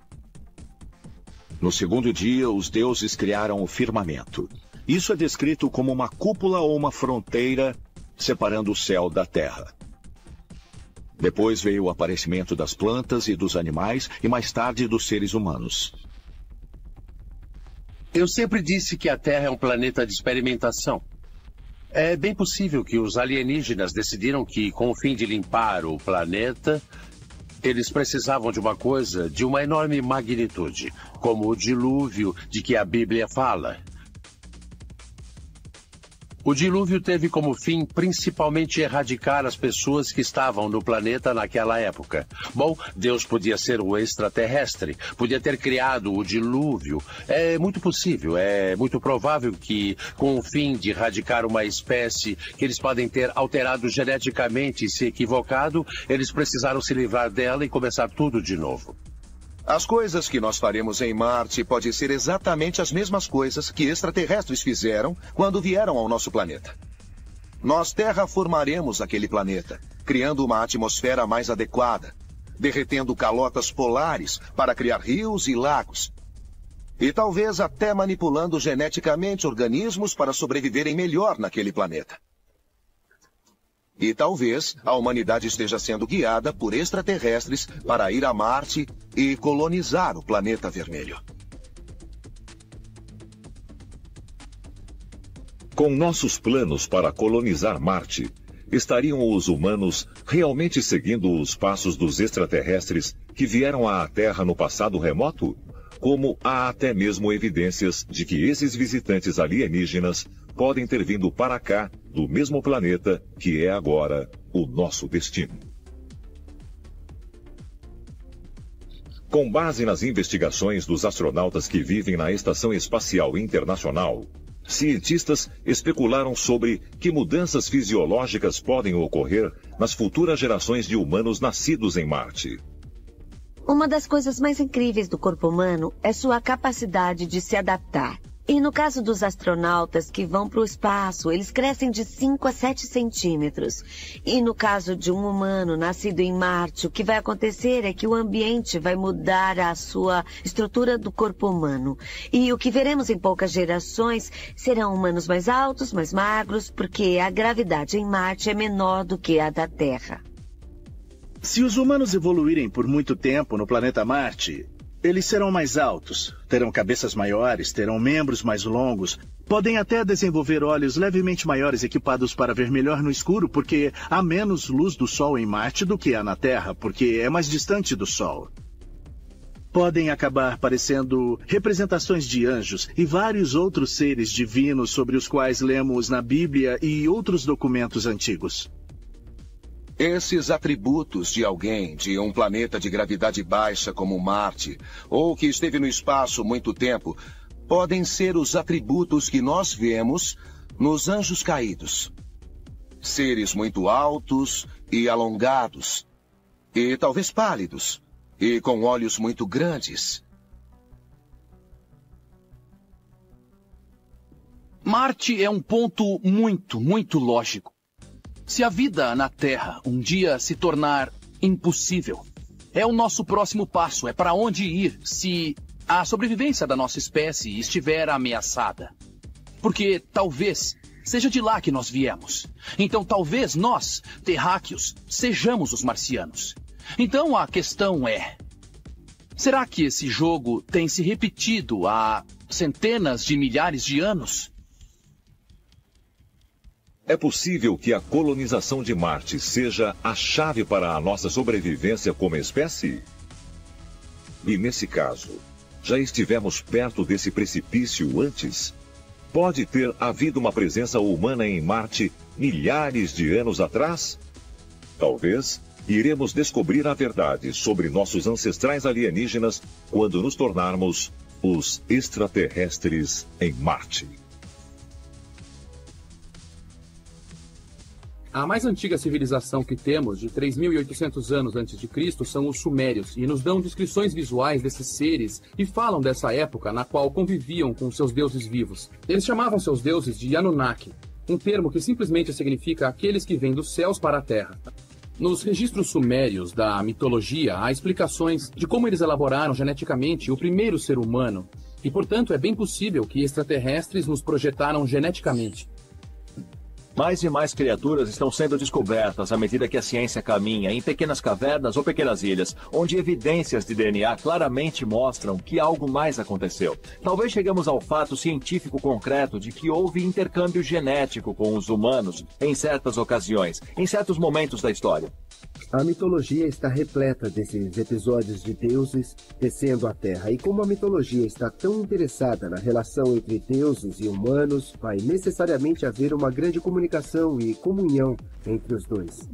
Há vários milhares de anos, quando nossos ancestrais ainda eram primitivos, alguns extraterrestres pousaram em nosso planeta. Nossos antepassados pensaram que esses extraterrestres deviam ser simplesmente deuses. Sempre que lemos referências ao Monte Olimpo, ele é descrito como sendo um magnífico palácio no topo do Monte Olimpo, supostamente. Bom, se você olhar para isso na perspectiva moderna, que tal se esse lugar, o Monte Olimpo, não fosse necessariamente o topo da montanha, mas na verdade uma nave espacial? Porque Há relatos de que, às vezes, havia um grande estrondo no Monte Olimpo e o topo inteiro se erguia. Então é possível que o raio e o tridente sejam algum tipo de dispositivo direcionador de energia. Ele tinha o poder de criar tsunamis, as tais ondas enormes com essa arma. Essa incrível arma, o tridente de Poseidon, parece ter sido algo mais do que apenas um forcado.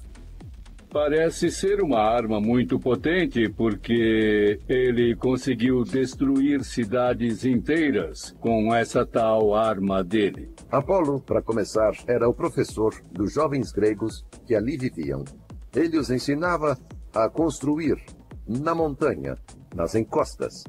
Ele os ensinava a fazer estradas. Ele ensinava astronomia. Como eles chegaram aqui? Provavelmente em algum tipo de nave. O que mapeamos nos nossos mitos e nossas lendas são histórias incríveis, eventos incríveis. E qualquer ser extraterrestre, qualquer alienígena que tenha vindo à Terra estará nesses relatos. Porque, sendo um evento tão extraordinário, ficará marcado para sempre. Os arqueólogos estão estupefatos com os muitos megalíticos aqui em Karnak. É claramente um grande projeto de construção com blocos de granito pesando de 50 a 100 e até mesmo chegando a 350 toneladas. As lendas locais contam que os gigantes construíram Karnak, mas é preciso se perguntar qual é o verdadeiro propósito desses megalíticos gigantes e por que um povo pré-histórico traria todas essas pedras enormes e montaria esses vários alinhamentos aqui em Karma. Milhares de pedras enormes foram arrumadas numa formação bem interessante. Elas estão dispostas em linhas que se cruzam, que formam triângulos que só poderiam ser vistos do alto, acima da Terra. Esses alinhamentos de pedras podem ter sido uma forma de se comunicar com seres extraterrestres. Apolo costumava dizer aos gregos: Tá bom, eu vou visitar outros povos. Os gregos perguntavam: E para onde você vai? Ele dizia: Bom, eu vou para um lugar que fica para lá de onde vem o vento norte. É a terra dos hiperbóreos. Foi só alguns anos atrás, na França, que começaram a fotografar essa região da Bretanha francesa do helicóptero. E quando foram comparar as fotos, de repente alguém percebeu que não era uma coincidência. A medida das linhas na vertical é sempre a mesma. Os ângulos são sempre os mesmos. Eles são triângulos pitagóricos. É tudo uma gigantesca formação geométrica da Idade da Pedra, o que é impossível. Os humanos da Idade da Pedra não tinham ideia dos triângulos de Pitágoras. Pitágoras só surge em 420 a.C. As pedras de Karnak são uma das poucas coisas no planeta que podem realmente ser vistas do espaço. E são um marcador perfeito para qualquer tipo de veículo aéreo que estivesse vendo a Terra de cima. Muitos dos turistas que vêm a Karnak alegam que podem de verdade sentir a energia que emana desses megalíticos de granito. Como é que esse povo antigo sabia sobre essa energia? Será possível que eles pudessem usar toda essa energia para mover e pôr de pé essas pedras gigantes? E tudo isso foi feito de propósito. Os extraterrestres mandavam nossos ancestrais fazerem isso e aquilo. Não foram os extraterrestres que alinharam essas pedras, foram os humanos que fizeram isso. Mas seguindo as ordens dos extraterrestres. Se o deus grego Apolo era realmente uma espécie de astronauta do passado, é possível que as pedras aqui de Karnak fossem uma espécie de direcionador, indicando o caminho para o extremo norte, para a hiperbórea dos deuses antigos. Existem inúmeras semelhanças entre a mitologia grega e a mitologia nórdica. E muitos dos deuses são quase que idênticos, além de fazerem praticamente a mesma coisa. Zeus e Odin são deuses do tipo Pai Celestial. Eles viajam pelos céus em carruagens porque têm parentesco com as divindades solares. O precursor de muitas crenças religiosas é o culto ao Sol. Os antigos sabiam que a vida vem do Sol. Portanto, é um grande mistério e fonte de grande deslumbramento. O que você tem aqui não é só uma divindade menor, mas você realmente a está nivelando a uma das divindades principais. Esse é um personagem muito importante. E, portanto, quem estiver por trás de Odin ou de Zeus é obviamente uma pessoa ou uma entidade divina que é compartilhada por essas culturas. E está claro que quem inspirou o mito de Zeus ou de Odin é alguém que tinha uma contribuição extremamente importante a dar para as duas civilizações. Então, essa entidade ficou definitivamente conhecida em toda a Europa. Nesse ponto, nós temos uma correlação, uma conexão, porque além de Zeus ter o raio, mas o que é que Odin tinha e Thor? Eles tinham um martelo. Se assemelha muito à descrição do raio que Zeus portava. Você precisa se perguntar se esses relatos dos raios de Zeus, do martelo de Thor, se eles não eram armas de verdade. Assim como temos hoje os tais raios direcionadores de energia, ou estão desenvolvendo algum tipo de raio mesmo, que é emitido por uma espaçonave. E há milhares de anos, cidades gigantescas rodeavam nosso planeta. Eles usavam o termo cidades porque não tinham outro para definir a nave-mãe. E, de repente, dessas cidades, naves menores se desprendiam. Claro, na Índia Antiga, como não tinham a palavra espaçonave, eles usaram o termo Vimana.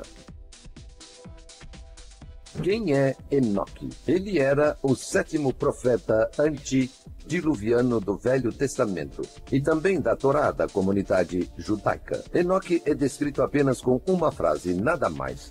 E ela é: O Senhor o arrebatou numa carruagem de fogo e o levou para o céu. De acordo com várias fontes, inclusive a mitologia nórdica, a mitologia grega e até a Bíblia, é, nós temos relatos desses filhos de Deus ou de deuses do Monte Olimpo ou Valhalla. Eles vêm à Terra e acham as filhas dos homens atraentes. Quando todos esses contatos aconteceram e quando as mulheres dormiram com esses deuses, o que pode ser lido em vários textos presentes, em todo o planeta é que essas mulheres realmente fizeram com extraterrestres, não com deuses, porque deuses não existem.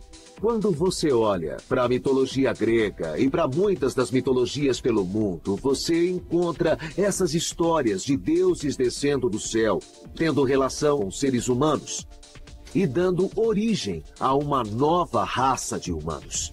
É uma tradição em muitas civilizações a existência de certas crianças humanas que eram, digamos, não humanas, mas que tivessem uma ligação com as estrelas.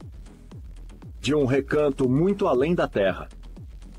Essa característica especial parecia ser inerente e parecia envolver um componente de DNA para o qual a ciência talvez devesse se voltar e precisasse estudar. Nos escritos em sânscrito antigo da Índia, encontramos o seguinte relato. Uma rainha chamada Kunti se casou com um ser celestial, um extraterrestre que era conhecido como o Deus Sol. O produto dessa união foi Karna, um dos heróis do épico indiano Mahabharata. Esses tipos de relatos das tradições do conhecimento antigo têm um equivalente moderno nos relatos de, de seres meio terrestres, meio alienígenas que povoam a coletânea atual de abduções por OVNIs. O notável é que vemos nesses registros modernos exatamente o mesmo que nos relatos antigos. Dentro da mitologia grega, você tem muitos relatos estranhos de centauros, ciclopes, estranhas criações genéticas, metade homem, metade animal. E você tem que especular, no mínimo até o ponto em que você vê a possibilidade de uma estranha engenharia genética acontecendo. E criando o que no passado eram as criaturas chamadas de monstros. Em alguns dos escritos de antigas civilizações, nós vemos relatos de acasalamento entre seres extraterrestres e humanos, produzindo monstros ou gigantes, ou outros tipos de seres. E por que é assim? Acredito que seja porque isso realmente aconteceu no passado. A caverna de Lovelock foi descoberta por rancheiros locais que estavam à procura de excremento de morcego para usar na lavoura. Depois disso, começaram a encontrar restos mortais de humanos. Chegaram a encontrar entre 40 e 50 pessoas dentro desta caverna.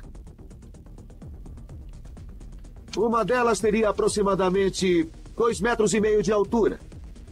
Tais criaturas tinham cabelo comprido e ruivo, e eram literalmente gigantes. Durante todo o século XIX, muitos esqueletos gigantes foram supostamente descobertos no meio oeste americano, em regiões da Califórnia e perto do Vale da Morte. Mas esses esqueletos encontrados aqui em Lovelock são dos poucos que foram realmente escavados por uma universidade credenciada.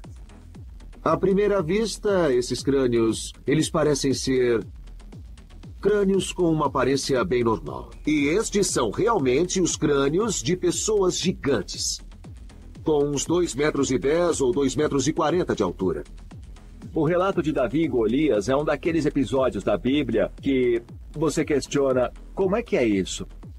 Será apenas uma metáfora ou estamos diante de uma interpretação fundamentada? E nesse sentido, Golias tem que ser uma criatura gigante. A questão então é: ele não pode ser humano. O que ele é então? A arqueologia gosta de usar o termo dolmen, só que eles já eram conhecidos antes do folclore como túmulos de gigantes. Um dolmen tem o formato da letra grega pi, com o topo reto e deitado. E é feito de blocos enormes de calcário. E até hoje nós ficamos maravilhados que alguém possa ter construído essas coisas e nos perguntamos como conseguiram pôr o topo horizontal sobre as bases verticais. Foram construídos durante o período Bronze Médio, mais ou menos entre 2000 e 1500 antes da era cristã. Então, vendo coisas como essas, ficamos pensando, devem ter sido feitos por gigantes, porque pessoas comuns não poderiam ter feito isso. Estamos diante de metáforas ou estamos lidando com indícios concretos de que tais criaturas são físicas e que de alguma forma vieram parar na Terra? Eu penso nisso e temos que aceitar que alguns casos são verdadeiros. A questão então é: como essas aberrações genéticas apareceram? Os extraterrestres mudaram nossa constituição genética, promovendo uma mutação específica dos nossos genes, essencialmente em laboratório. Então, eles pegaram alguns seres humanos, alteraram seu DNA e reinseriram essas pessoas no mundo para que, pela procriação, essas pessoas passassem adiante tais alterações genéticas inéditas para toda a população. Para um ser alienígena trabalhar com DNA é tão fácil. Criar um tipo novo não tem nada de difícil. Até mesmo hoje em dia temos a capacidade de criar novos tipos de animais. A pergunta então é: nós também fomos criados desse jeito? O Homo sapiens está na Terra há 300 mil anos. E apenas em alguns milhares de anos, o tamanho do nosso cérebro simplesmente triplicou. Agora, isso não combina com a evolução normal. É preciso tempo, e um tempo muito longo.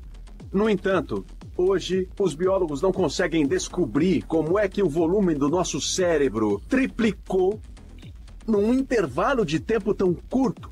Isso ainda é um mistério. A ciência tem sido incapaz de achar esse elo perdido. E talvez isso se deva ao simples fato de que a Terra é incapaz de oferecer esse elo perdido. Talvez esse elo perdido não seja desse mundo. Talvez esteja em algum lugar fora daqui, um lugar extraterrestre. Há, na verdade, relatos em antigos escritos em sânscrito na Índia de que, nas suas tentativas originais de produzir os deuses ou os seres extraterrestres cometeram erros e produziram tipos diferentes de monstros, gigantes e coisas desse tipo. Por que razão os chamados deuses fizeram tais criaturas híbridas e assim começaram a fazer cruzamentos?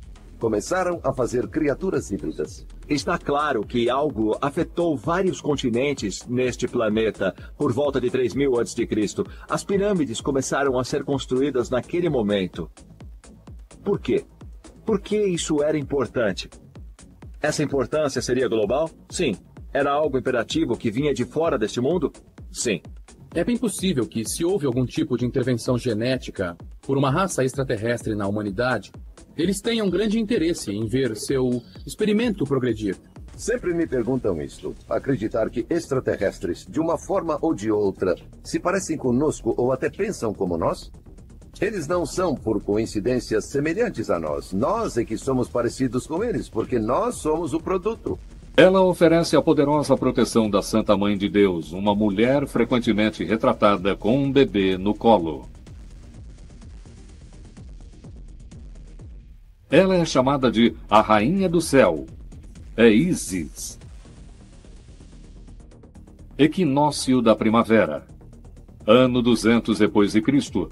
Adoradores romanos marcham em honra da Santa Mãe de Deus. Ela é uma figura religiosa popular do Império Romano. Uma deusa sagrada conhecida como a Rainha do Céu e a Estrela do Mar. Seu nome não é Maria. É Isis, e esse culto é um significativo à religião de Jesus. Entretanto, Isis é venerada por seus seguidores como a Mãe Virgem. As similaridades entre Isis no ano 200 depois de Cristo e a Virgem Maria da Igreja Católica são incríveis. Ambas são chamadas de Rainha do Céu e de Santa Mãe de Deus.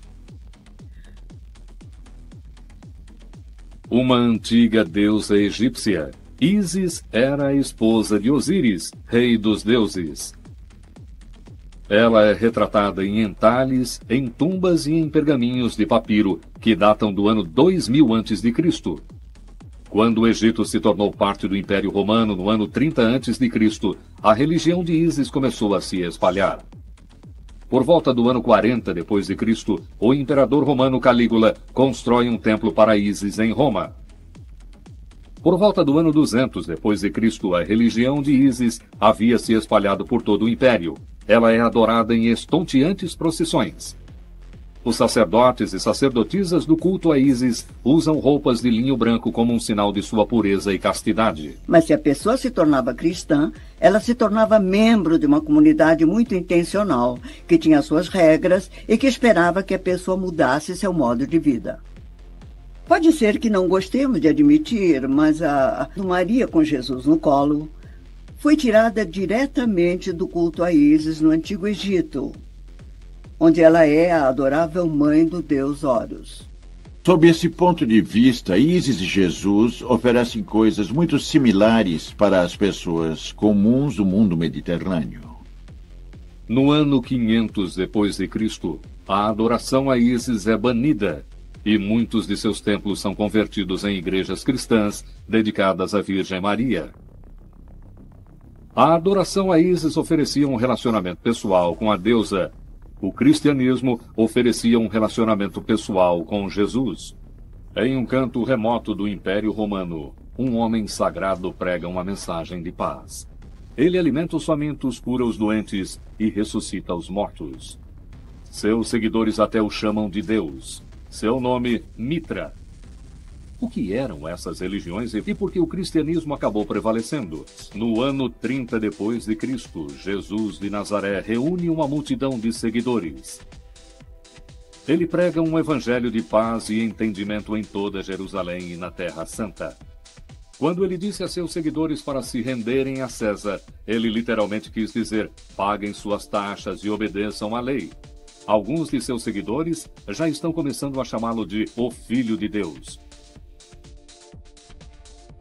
O problema é que já existe um filho de Deus. Mitra. A lenda de Mitra apresenta notáveis semelhanças com a história de Jesus. Ele nasceu de uma virgem no dia 25 de dezembro. Dividiu uma última refeição antes de ser chamado ao paraíso.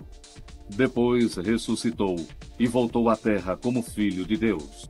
Por volta de 200 depois de Cristo, seguidores de Mitra superaram em número os de Jesus de Nazaré. Ele é chamado de Deus, de Filho de Deus, de Senhor, de Redentor e de todos esses títulos, claro, que também são dados a Jesus pelos primeiros cristãos. Foram descobertos templos em honra a Mitra por todo o Império Romano, do centro de Londres até as montanhas da Romênia. Eles eram construídos no subsolo e seus tetos muitas vezes eram decorados para simbolizar o cosmos. Um afresco do deus dominava cada templo. Ele sempre era imaginado montando um touro, tipo um rodeio. Ele puxa o pescoço do touro para trás e depois corta a garganta dele, e esse se torna o maior ato litúrgico do culto a Mitra. A iniciação de um novo membro do mitraísmo é feita através de um ritual secreto. O iniciado é vendado e suas mãos atadas. Seus laços com o mundo são simbolicamente cortados e seus olhos simbolicamente abertos. E quando o sacerdote de Mitra oferece a ele o reino do mundo, o iniciado precisa recusar, dizendo: Mitra é minha única coroa. O novo seguidor somente poderá tomar parte na refeição sacramental depois de sua iniciação. O objetivo do ritual da refeição do culto mitraico, pão e vinho, é invocar o sangue e o corpo sacrificial de Mitra e do touro sagrado que ele matou. Não fica claro o que vem primeiro: a refeição de pão e vinho de Mitra ou o ritual de pão e vinho celebrado pelos cristãos durante a missa. As pessoas em todo o império estão celebrando a paz e a prosperidade que Roma lhes trouxe e celebram isso adorando como um ser divino. Essa religião era muito popular entre o exército romano, entre as legiões, e era muito popular entre os oficiais do Império Romano. No ano 200 depois de Cristo, depois da difusão do mitraísmo pelo Império Romano, ambas as religiões já estavam estabelecidas há muito tempo. Pode ser que as pessoas hoje fiquem chateadas com esse tipo de comparação entre a Eucaristia Sagrada dentro do cristianismo e a refeição mitraica. Certamente nos primeiros séculos, os cristãos devem ter ficado com raiva disso, e a única coisa que eles podiam pensar diante disso era que o demônio fez os adeptos do mitraísmo imitarem a verdade da Eucaristia, que o demônio os fez fazer isso. As religiões misteriosas são clubes exclusivos. O mitraísmo é uma seita apenas de homens, e talvez isso tenha levado ao enfraquecimento da religião. Esta pode ser a razão pela qual o cristianismo venceu quando foram inventadas as primeiras luzes natalinas elétricas, pelo vice-presidente da Edison Company, Edward Johnson. A inspiração veio do trabalho dele, na companhia telefônica, e foram as pequenas lâmpadas dos painéis telefônicos primitivos. Isso deu a ele a ideia do que hoje chamamos luzes natalinas. Como a origem das luzes natalinas elétricas, a história de muitas de nossas tradições para as festas faz parte de uma obscura, mas verdadeira história do Natal. Essa é a razão por que fazemos as coisas estranhas que fazemos a cada mês de dezembro. Por exemplo, cortar uma árvore e colocá-la em nossas salas. Mais de 30 milhões de nós farão isso antes de 25 de dezembro. A base disso está numa história que acontecia há mais de dois mil anos. Todo dezembro, no dia mais curto do ano, acontece o solstício de inverno. Ele marcava o dia mais escuro do ano. Mas marcava também a promessa de dias mais longos, e essa era a causa da celebração. Para honrar a ocasião, antigas tribos celebravam um festival de 12 dias que chamavam Yule. Os nórdicos queimavam uma tora gigante durante os 12 dias da festa. E levavam sempre vivas, pinheiros e azevinho para casa. Ao longo dos séculos, o conceito cresceu e depois foi agregado ao nosso hábito moderno da árvore de Natal. Hoje, escolher uma árvore para a família é uma tradição das festas. Essa é a maravilha da árvore de Natal. Nem sempre é fácil ver como nossos hábitos modernos se ligam às antigas tradições. O que isso tudo tem a ver com o nascimento de Jesus há mais de dois mil anos? Para os cristãos, esse momento memorável é quando a história do Natal começa. O Evangelho de Mateus introduz a estrela de Belém e os sábios chamados magos que trazem presentes ao bebê Jesus. Esse é o primeiro exemplo de presente de Natal. Mas ninguém registrou quando isso realmente aconteceu. Ninguém sabe a data certa do nascimento de Jesus. E os primeiros cristãos não celebravam aniversários. Então, como Jesus acabou fazendo aniversário dia 25 de dezembro? Muito antes de Jesus nascer, os romanos celebravam muitas festas pagãs, particularmente em dezembro. E essas festas de fim de ano criaram o palco para as festas natalinas modernas. Uma das festas romanas era a Saturnália, que começava no dia 17 de dezembro e era uma série de festas que duravam de três a cinco dias, talvez sete. Você pode imaginar uma grande festa no escritório, mas de togas. Os romanos trocavam presentes na Saturnália, assim como fazemos no Natal. Os escravos recebiam refeições especiais de seus amos e gozavam de uma liberdade que não tinham o resto do ano. A segunda festa é o Ano Novo. Era uma festa de cinco dias e era muito divertida também. E entre a Saturnália e o Ano Novo, já havia a celebração de um deus romano no dia 25 de dezembro. Esse deus, Mitras, e mais um deus, Sol Invictus. O deus Sol Invicto eram ambos festejados em 25 de dezembro. Como a data caía perto do solstício de inverno, o mesmo evento cósmico celebrado pelas tribos do norte da Europa. Os romanos acendiam fogueiras rituais e velas para afastar a escuridão, a origem das modernas luzes natalinas. O solstício de inverno é o dia mais escuro do ano, e você percebe a escuridão na hora de se levantar e também antes do dia terminar. Você não vê a hora do sol voltar. Do mundo todo celebravam o dia mais escuro, e nas religiões romanas, o dia se tornou o principal do ano. Depois que o cristianismo se tornou a religião oficial de Roma no século IV, os líderes preferiram absorver a tradição pagã a colocá-la fora da lei. Foi aí que a igreja decidiu celebrar o nascimento de Jesus e escolheu um dia perto do solstício de inverno, 25 de dezembro.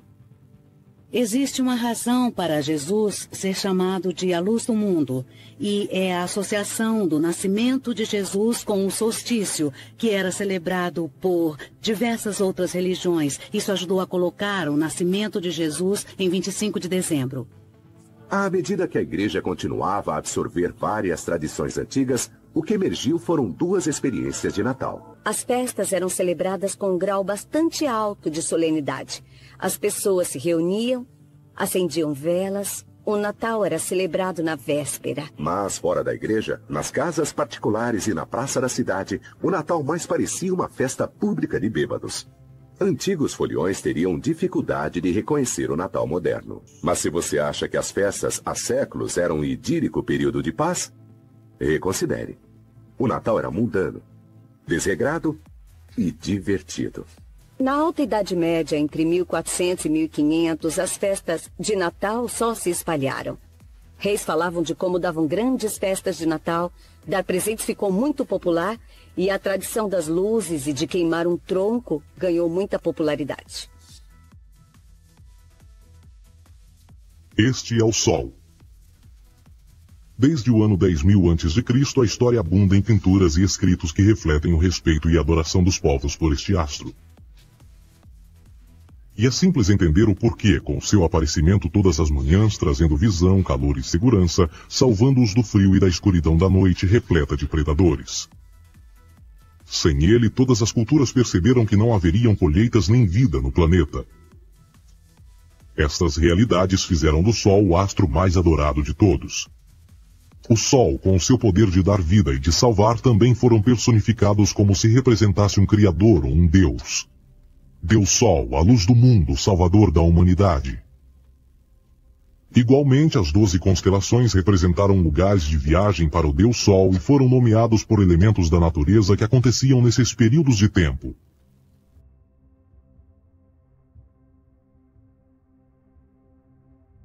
Este é Horus, ele é o Deus Sol do Egito de 3000 a.C. Ele é o Sol antropomorfizado e a sua vida é uma série de mitos alegóricos que envolvem o movimento do Sol no céu. Horus nasceu em 25 de dezembro da Virgem Isis Mary.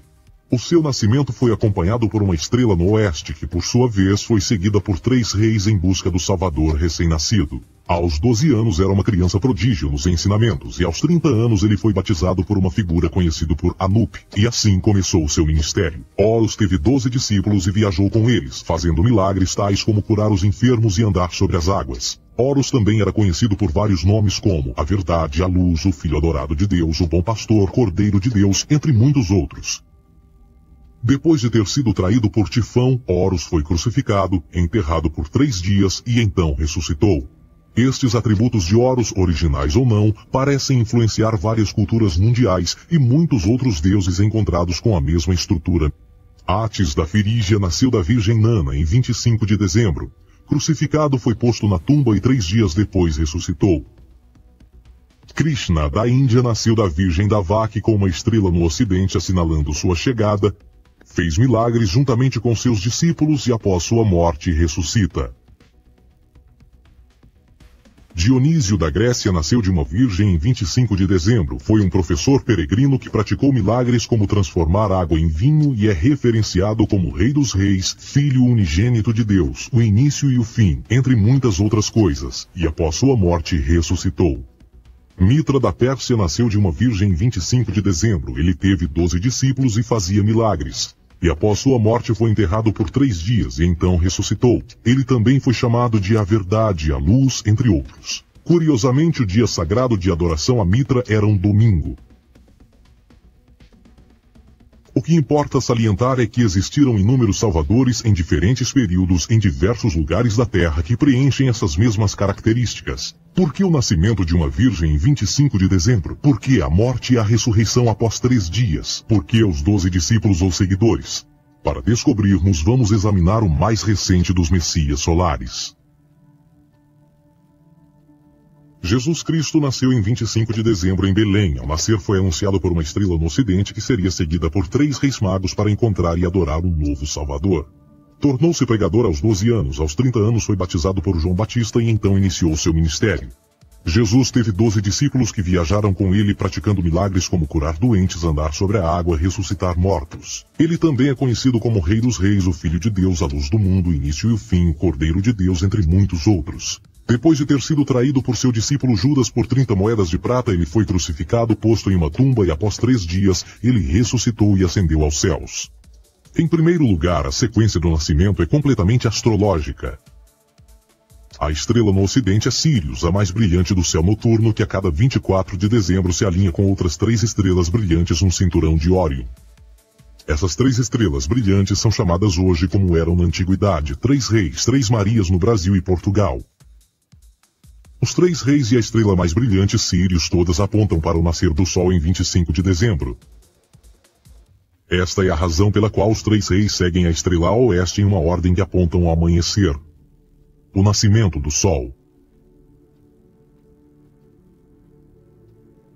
A Virgem Maria é a constelação de Virgo, também conhecida como Virgo, a Virgem. Virgo em latim significa virgem. Virgo também é conhecida como a casa do pão. E a representação de Virgo é uma virgem segurando um feixe de espigas de trigo. Esta casa do pão e o seu símbolo das espigas de trigo representa agosto e setembro, a época das colheitas. Por sua vez, Belém é a tradução ao pé da letra de a casa do pão. Belém também é referência à constelação de Virgem, um lugar no céu, não na terra. Existe outro fenômeno muito interessante que ocorre em 25 de dezembro, é o solstício de inverno. Do solstício de verão ao solstício de inverno, os dias se tornam mais curtos e frios. Da perspectiva de quem está no hemisfério norte, o sol parece se mover para o sul, ficar menor e mais fraco. O encurtamento dos dias e o fim das colheitas conforme se aproxima o solstício de inverno, simbolizando o processo de morte. Era a morte do sol. Pelo 22º dia de dezembro, o falecimento estava completamente realizado e faz com que atinja seu ponto mais baixo no céu. Aqui algo curioso acontece. O Sol para de se mover por três dias. Durante estes três dias, o Sol fica pelas redondezas da constelação do Cruzeiro do Sul, ou Alfa Crucis. Depois desse período, em 25 de dezembro, o Sol se move um grau, dessa vez para o norte, trazendo perspectiva de dias maiores, mais calor e a primavera. E assim se diz. O Sol morreu na cruz, ficou morto por três dias, apenas para ressuscitar ou nascer mais uma vez. Esta é a razão pela qual Jesus e muitos outros deuses solares compartilham da ideia de crucificação, morte por três dias e o conceito da ressurreição. É o período de transição do Sol antes de mudar para a direção contrária no hemisfério norte, trazendo a primavera e assim a salvação. Todavia, eles não celebram a ressurreição do Sol até o equinócio da primavera, ou Páscoa. Isso é porque no equinócio da primavera o Sol domina oficialmente o mal, as trevas, assim como o período diurno se torna maior que o noturno. E o revitalizar da vida na primavera emerge. Agora, provavelmente, a analogia mais óbvia de todas neste simbolismo astrológico são os doze discípulos de Jesus. Eles são simplesmente as doze constelações do zodíaco com que Jesus, sendo o Sol, viaja. De fato, o número 12 está sempre presente ao longo da Bíblia.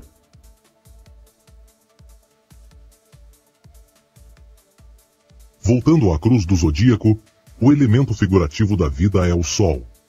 Isto não é uma mera representação artística ou ferramenta para seguir os movimentos do Sol. Era também um símbolo espiritual. Uma logografia similar a isto.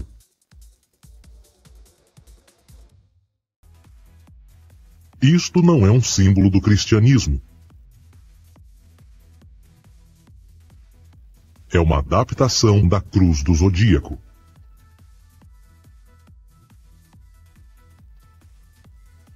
Esta é a razão pela qual Jesus, nas primeiras representações, era sempre mostrado com a sua cabeça na cruz. Jesus é o Sol, Filho de Deus, a luz do mundo. O Salvador a erguer-se, que renascerá, assim como o Sol faz todas as manhãs. A glória de Deus que defende contra a força das trevas.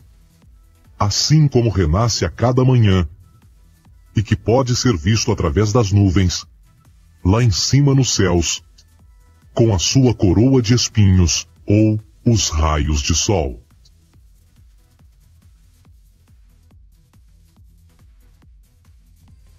E chegamos ao fim de mais um Alienígenas, desvendando os maiores segredos do planeta Terra.